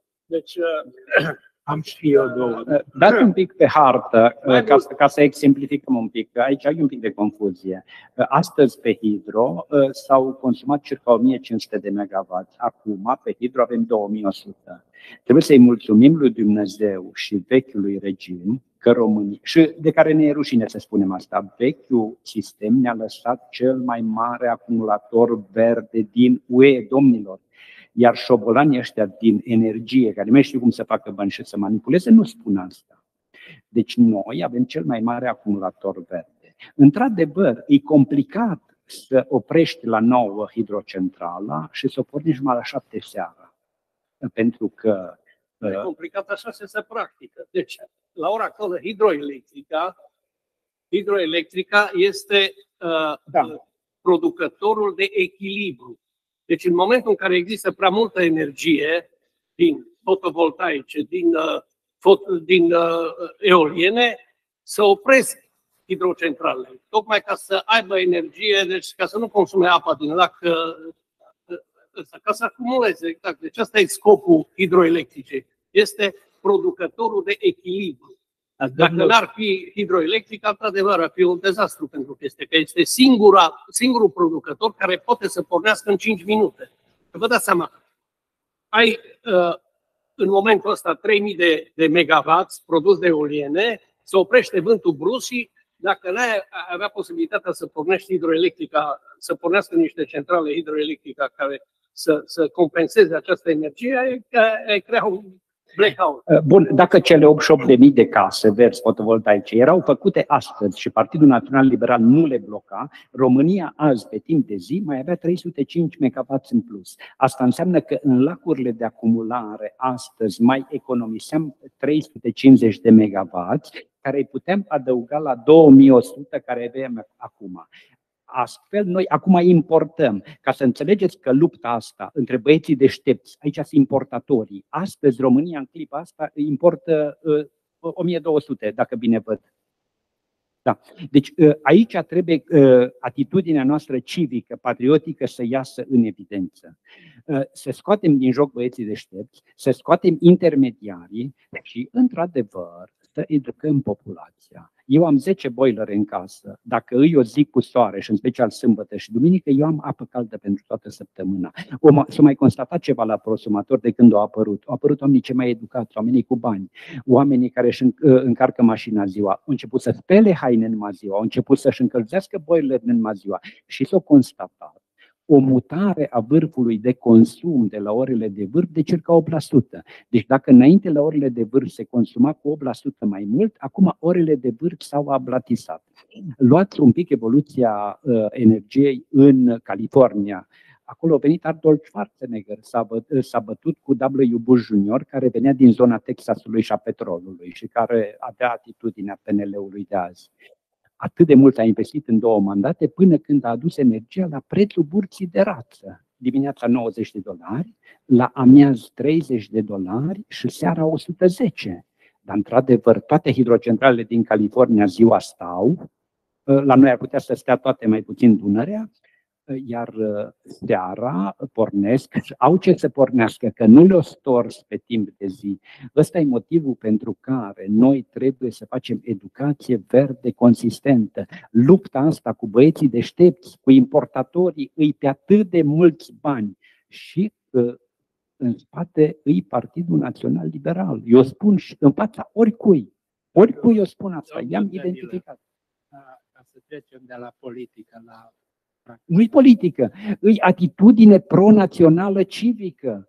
Eu dacă mâine, uh, uitați, eu am propus uh, doamna și să se ocupe să-i dau uh, uh, documente cum m-a sabotat pe mine. Am o zis că nu-i moment. Tehnică, la partea inginerească. Dacă energia fotovoltaică de peste zi o ajut cu ea să o trec printr-o pompă de căldură și îmi fac apă caldă. Și noaptea dau drumul la calorifer cu baz- din bazinul cu apă caldă. Am echilibrat sistemul. Poate fi o variantă. Cea mai bună variantă dacă îi... Mă, dacă mă întrebați... Da, în, în, în, în pompa de căldură. Da, din pompa, da. Dacă astăzi caut acumulatori ca să depozitez pentru de peste zi energia produsă pe fotovoltaic, nu găsesc de capacitate adecvată. Nici alea de tractoare nu nu, nu, intrați puțin pe producătorul de mașini Kia. E singurul care are softuri reversibile. Acum eu nu fac publicitate la Kia. Dar ă, dacă nu circul sâmbătă și duminică, descarci mașina Kia pe un soft foarte inteligent și ți-o descarci foarte încet și ți-o încarci pe timp de zi. Deci o mașină care uh, înmagazinează 60-80 de kW îți ajunge la o casă care consumă noaptea 2-3 kW. Uh, aplicația Kia, o să vă trimit. Da, deci ideea este că uh, au apărut acum niște baterii mult mai performante. Sigur că aceste baterii sunt pentru puteri mici, deci uh, dacă montezi până la 5 kW, ăsta, sigur că ai, ai posibilitatea să stochezi pe tot parcursul, sau aproape, mă rog, depinde, pentru că randamentul, randamentul gândiți-vă că randamentul unei, uh, uh, unor panouri solare este de maxim 25%. pe parcurs a 24 de ore. 30%, 35% este în Spania, sudul Spaniei. Deci aici, în zona noastră, în zona noastră, randamentul e probabil maxim 20%. Pe de altă parte, de asta spuneam, vreau să mai adaug că, apropo de hidroelectrica, există la ora actuală nouă microhidrocentrale care însumează toate aproape 500 de megawatts și care sunt realizate în proporție de 70-90%, dar care sunt blocate de niște organizații de mediu care au dat în judecată hidroelectrica că se aduce un prejudiciu uh, zonelor protejate unde sunt instalate aceste hidrocentrale. Mafioții lui domnul Danil au făcut-o indirect prin ONG-urile de mediu. Uh, nu, am, am spus asta. Eu vă spun că am intervenit la Uniunea Europeană și am discutat cu cineva în Bavaria. Uniunea Europeană Nu s-a au acceptat. blocat, au blocat aceste construcții a hidrocentrale în zonele protejate. Nu, nu, nu. Uh, Vă spun eu cum e. Prin ONG-uri din Cehia, plătite prin Cipru, banii venind din Biserica Ortodoxă Rusă, via KGB, au fost plătite ONG-uri de genul ăsta.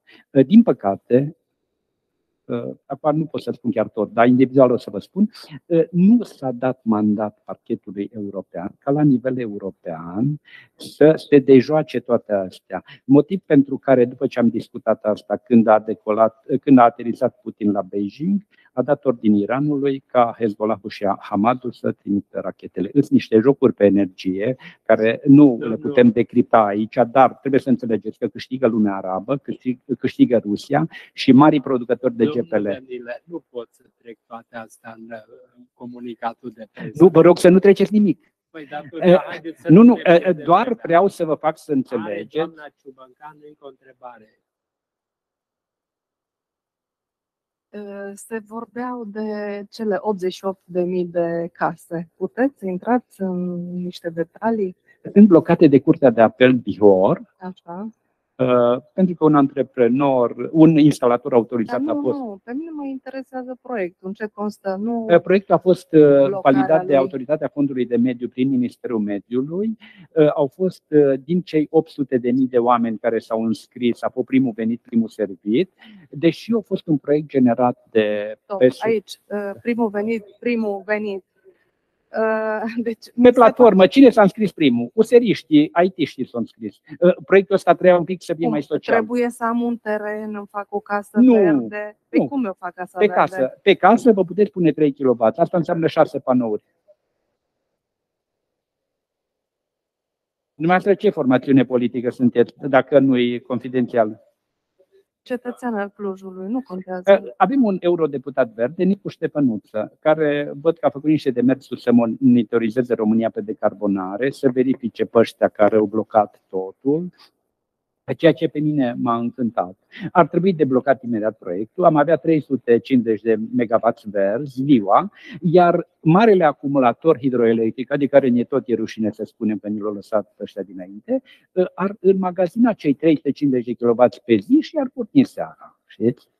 Da.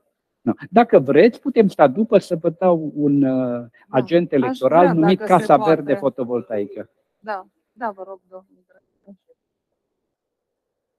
La ora actuală sunt 88.000 de prosumatori în punct. Deci blocajul a, a venit după aceea, pentru următor, care s-au înscris. În ce sens? O firmă care livrează panouri solare nu a fost atestată de ANR. Și aici, aici a început discuția. Și acea firmă de panouri solare a dat în judecată ANR-ul pentru că ei considerau că meritau să fie atestați, pentru că uh, dispun de toate uh, argumentele și au răspuns la toate chestionarele solicitate de ANR pentru atestare. Pentru că toate firmele astea care, care mo- montează panouri solare trebuie să fie atestate de ANR, să folosească panouri solare uh, uh, standardizate, Conforme. Da, am înțeles. conforme, Da. bineînțeles, să aibă electricieni autorizați, deci să nu fie o firmă de asta de trei nulele care să... Deci, și aici a pornit discuția și procesul care deocamdată nu s-a dat întâmplare.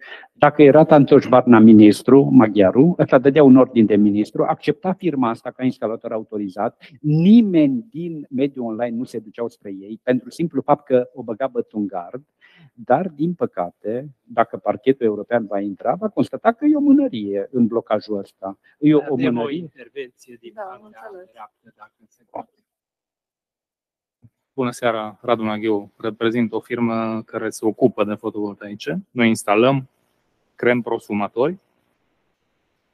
Uh, ideile au fost multe, dar extrem de largi și în foarte multe direcții. Chestia cu programul cu Casa Verde, exact așa s-a întâmplat, doar că AFM-ul a blocat. Uh, firma nu a fost autorizată de AFM, cea din Oradea, și Curtea de Apel Bihor a blocat întregul program, ceea ce e o, clar o anomalie. Gândiți-vă că există la ora asta în țară câteva sute de firme care au importat materiale pentru că și aici ai cu herupul, dăm bătaie acum că acum sunt bani. Și au blocat oamenii banii, privații, și au rămas cu o grămadă de echipamente pe stoc. Și acum este varianta românească, ne dăm la joale, care dă mai ieftin.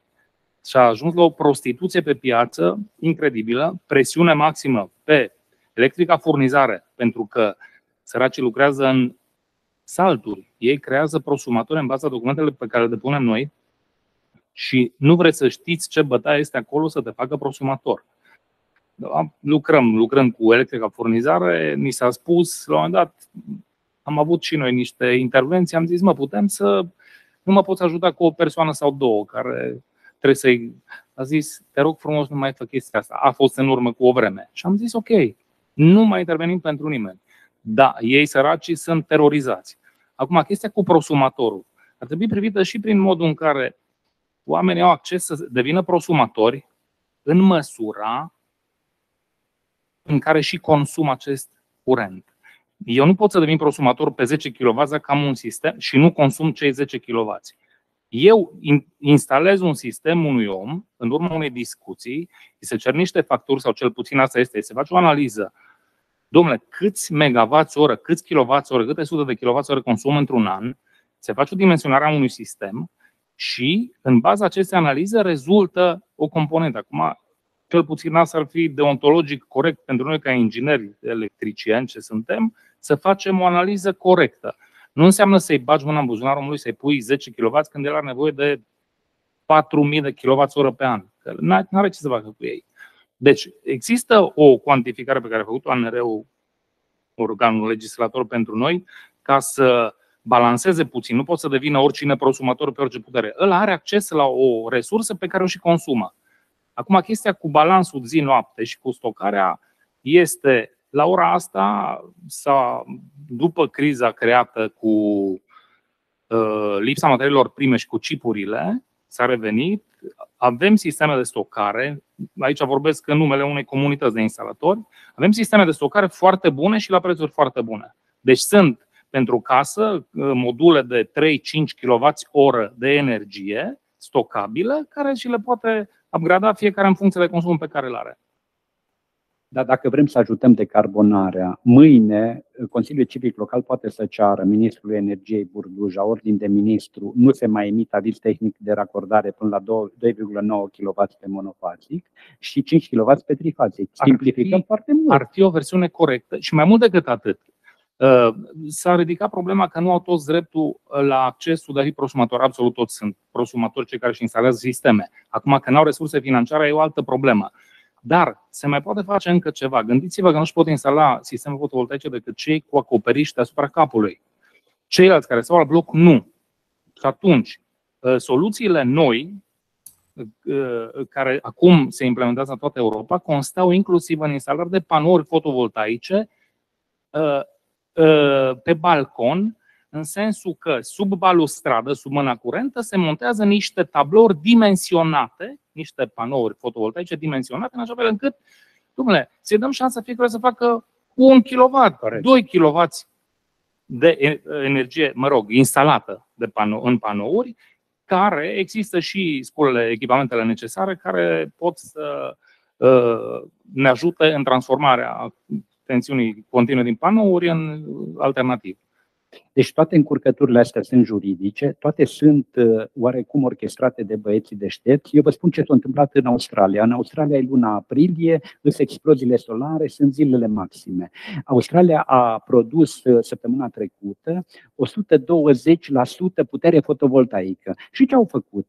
Au niște termocentrale lângă mare, fac din apa de mare aburi și nori, duc norii la 300 de kilometri în deșert și îi descarcă controlat. Iar la noi nu știm cum să mai călărim și să mai denigrăm prosumatorii. O chestiune care uh, e atât de simplă, atât de facilă, reduce enorm de multe costuri. Doar trebuie să găsim oamenii politici capabili să-și asume un ordin de ministru la Ministerul Energiei și un ordin la ANRE, Autoritatea de Reglementare în Energie, care e tot pupila liberalilor pusă de Virgil Popescu. Deci aici, dacă aveți mecanisme de presiune la Ciucă, la eurodeputat, uitați, un deputat eficient, Stiprit Puneșan, care mai trage de urechi, pentru că îi pe versiunea germană om. Ne întoarcem la subiectul. Uh, dom, domnul, pot pune o întrebare la domnul care instalează? Da, sigur că da. Da. Uh, am o întrebare. Uh, sigur că eu m-am referit la faptul că uh, oamenii cu venituri uh, reduse nu pot să facă investiții uh, pe, pe sisteme fotovoltaice ca să le fie rentabile.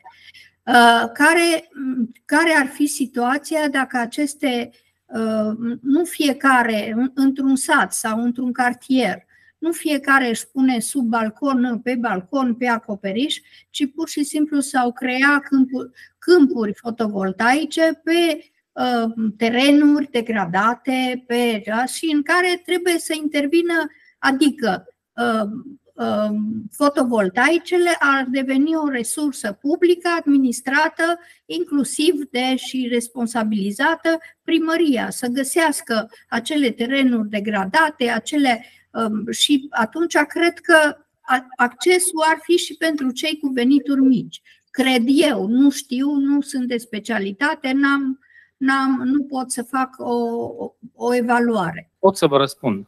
Există o inițiativă legislativă la ora asta în care acum se va implementa, adică va fi publicată în monitor oficial, uh, primăriile vor trebui să uh, caute și să determine suprafețele disponibile pentru a instala sisteme fotovoltaice. Vor trebui să treacă la o inventariere a acestora și să instaleze panouri fotovoltaice. Acum, nu știu cine se va ocupa, cine va face exploatarea și administrarea lor.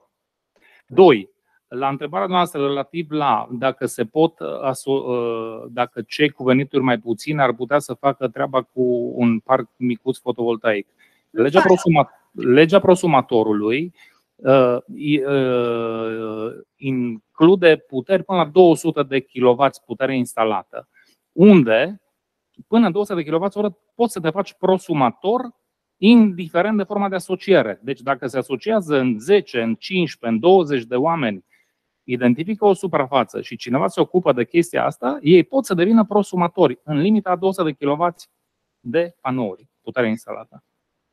Ă, problema mea este că ă, toată treaba asta, toată strategia asta trebuia să fie gândită în lege, ă, să fie o metodologie foarte precisă, cu responsabilități, cu tot ce trebuie. Nu, acum începem noi să gândim un, un lucru care a fost făcut prost.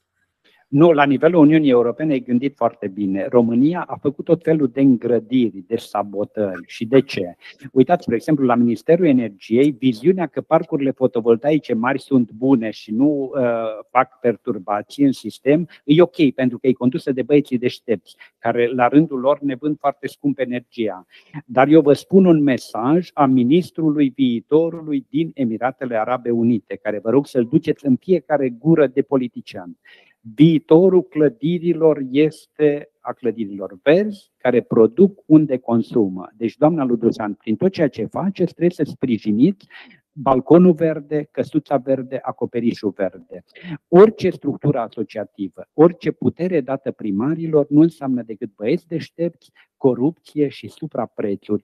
E o țară necompetitivă economică. Noi suntem într-un război de competitivitate, care și Uniunea Europeană și Statele Unite l-au pierdut în relația cu China. Deci eu de asta am pus întrebarea asta, ca să înțeleg. Ca să tragem concluzia, trebuie să ne pronunțăm. Facem dezbaterea publică, îi dăm curs sau uh, oprim discuția la nivelul ăsta. Asta era tema zilei de astăzi pe punctul ăsta. Și uh, înțeleg că dacă o facem, ne trebuie prezența de la Ministerul Energiei Electrice, de la instituția de supraveghere, ar trebui o, un concept de organizare care să ni-l asumăm, pentru că nu e ușor de făcut o dezbatere publică, ne trebuie o comisie de experți care, după ce au de tot, să și decidă uh, la ce concluzie am ajuns și să ajungă într-adevăr pe masa premierului sau a guvernului o astfel de rezultante de dezbatere publică. Deci, ne asumăm, o să, o să fie și instalatori autorizați, dar decidenții nu sunt deși. Există un format de dezbatere publică un pic mai simandicos care trebuie să marcheze rezultate, nu numai pledoarii. Nu o să faceți pledoarii politice și tehnice. Trecem la punctul Trecem la punctul. Deci am notat că toți vrem dezbaterea publică, o să vedem cum ne organizăm să ne iasă bine. Trecem la ultimul punct. De la cetățeanul Răzvan Radu avem o propunere pe care aș ruga rapid să-și o susțină ca să ne pronunțăm asupra ei.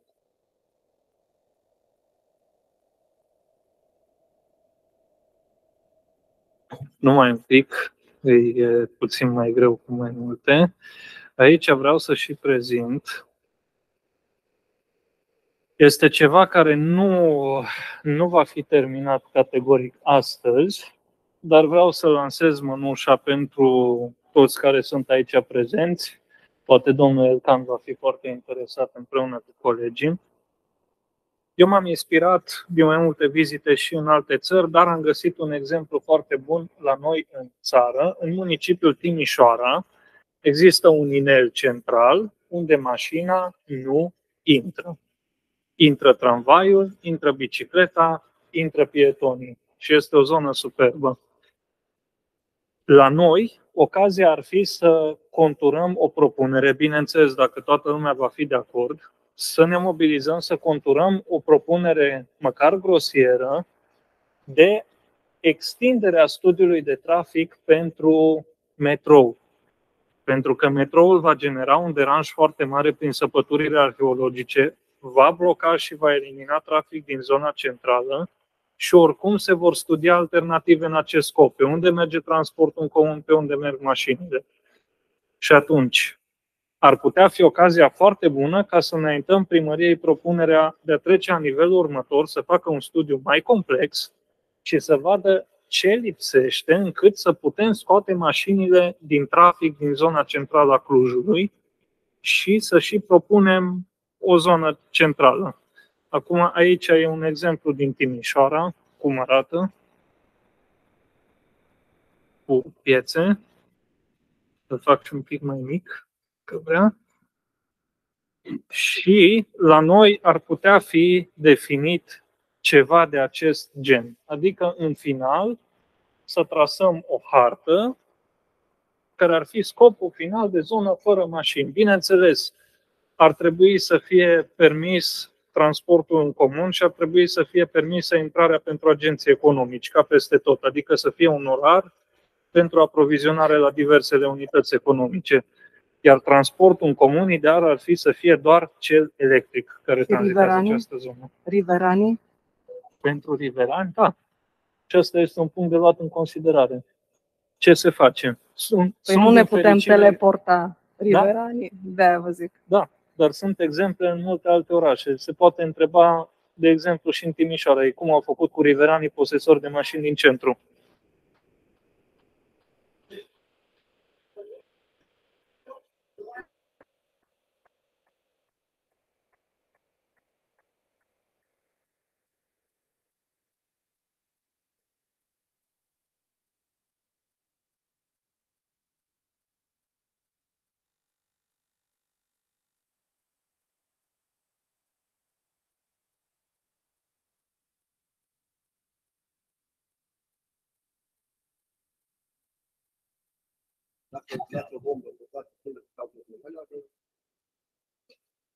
Da, asta, asta, înseamnă, asta înseamnă plan. Asta înseamnă gândit prin studiu. Că trebuie să poată fi posibil pentru că au făcut atâtea orașe din Europa, dar n-au făcut-o pompieristic de pe azi pe mâine, ci și-au studiat tema și au făcut, unele au avut chiar un plan pe 20-30 de ani până au ajuns la acest deziderat.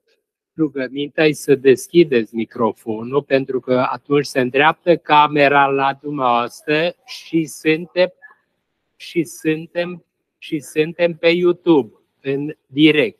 Deci sunt cei care au intrat pe YouTube și văd desfășurarea. Dacă binevoiți. Vă rog. Te rog, Păi oricum, din ce am văzut eu pe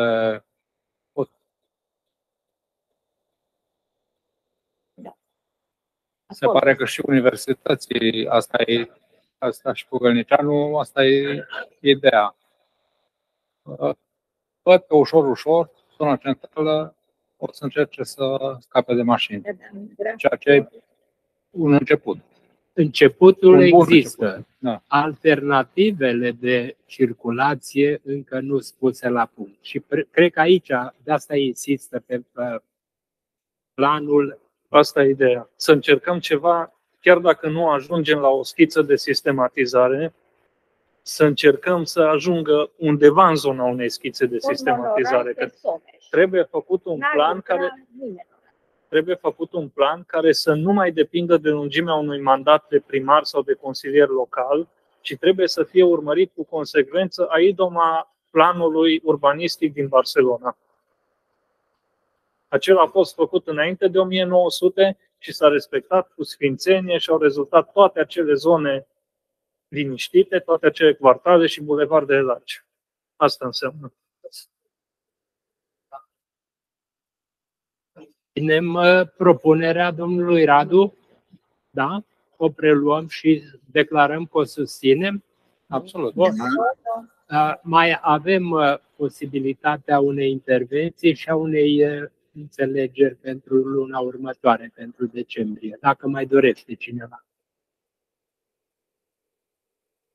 Uh, Nu știu câți uh, dintre noastre au urmărit asta ședința Consiliului Local și ce s-a întâmplat acolo și vreau să trag un semnal de alarmă asupra tipului de proiecte care se promovează ad hoc în 24 de ore fără, și, bineînțeles, uh, încărcarea și asumarea noastră ca și consilier local a unor mega proiecte care sunt bullshit, de niște sume, încărcat cu niște sume nejustificate.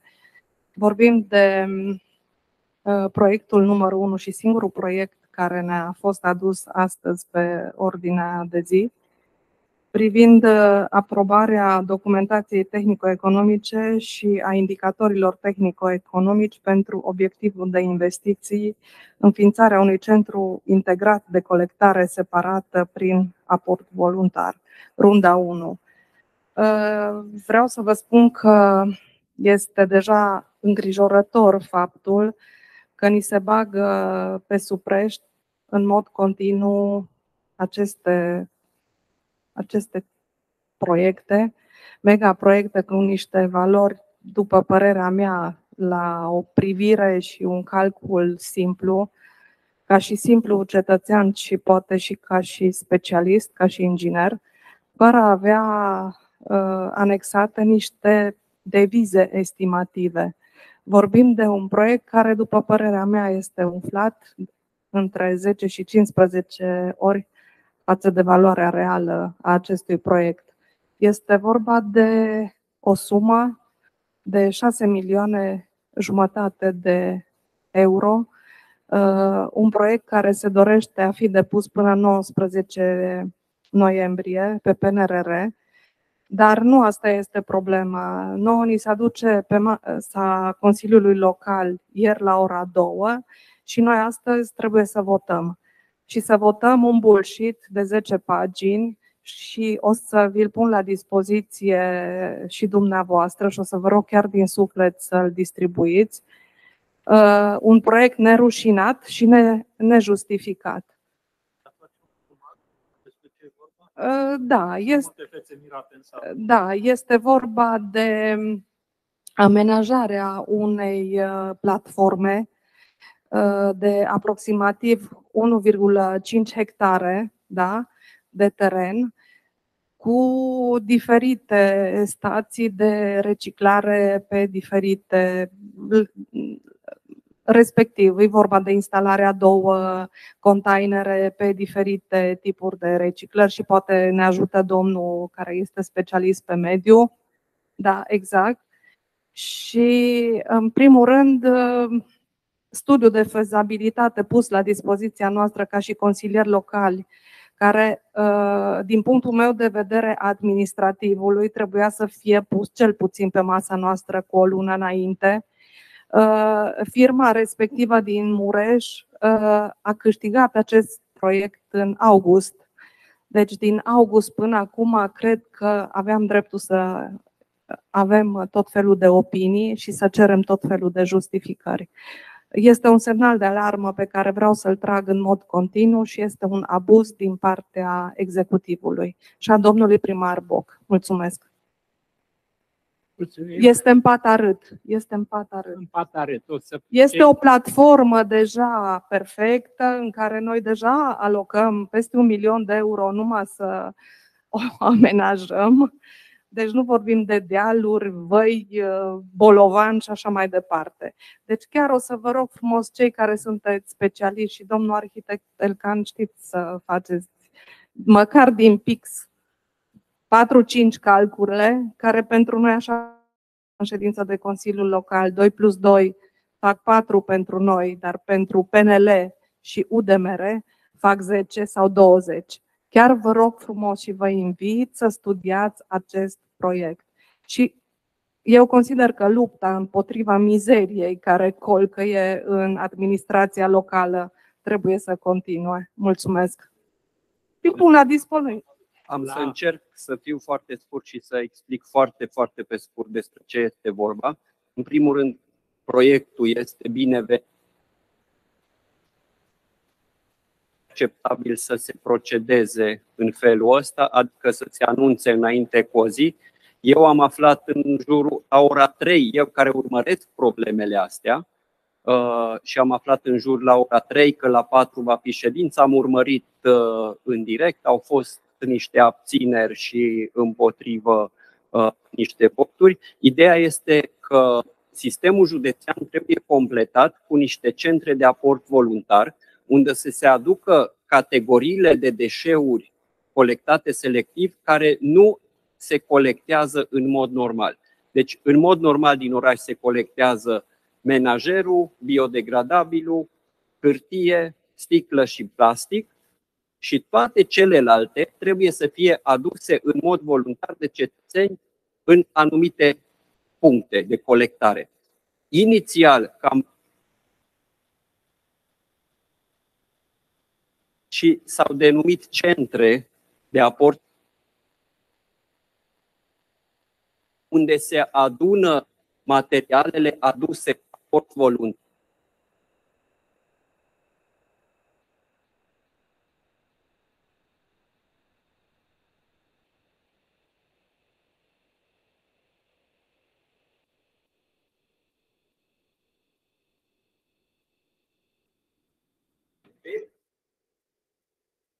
Pe banii ăștia puteau să fie făcute Toate centrele, nu șase- doar șase unul. centre Exact.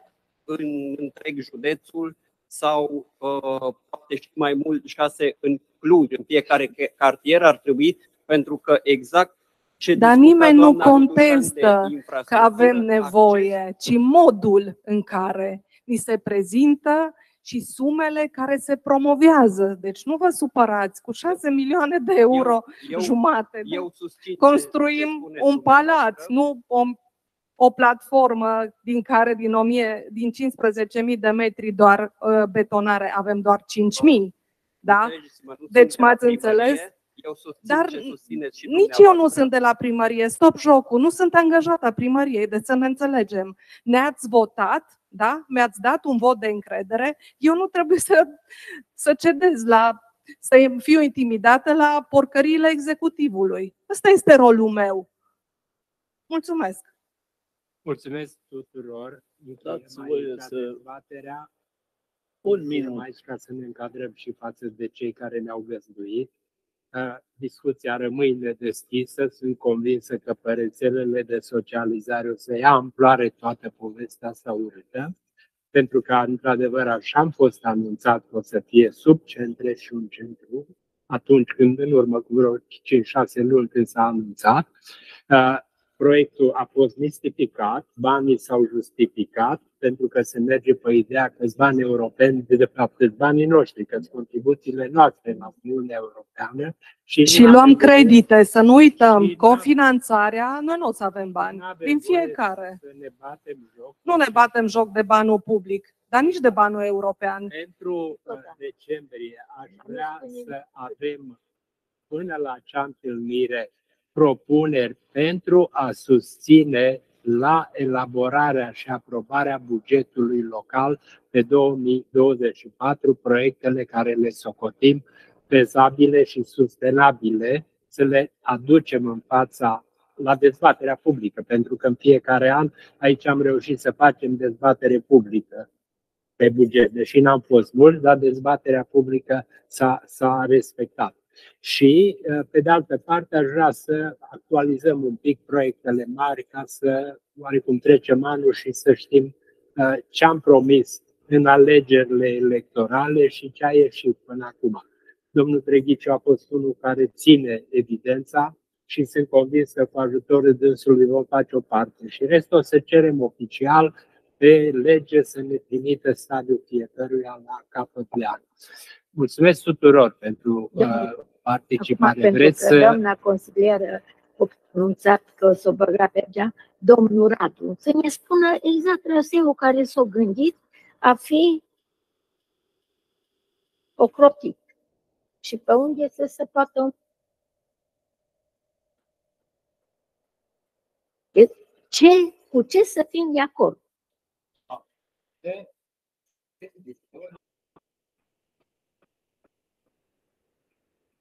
Am înțeles, teoretic, da, au arătat acolo pe schemă, pe Da, hartă. am zis că este Ce? un exemplu.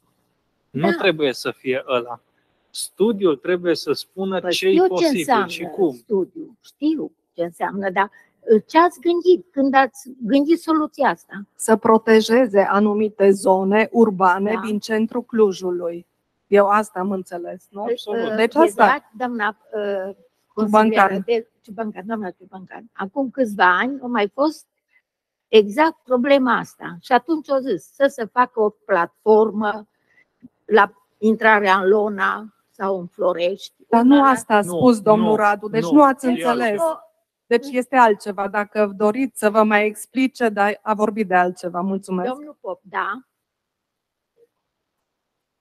Bine. Despre asta. Despre asta. Corect. Mulțumesc. Și eu mulțumesc de invitație.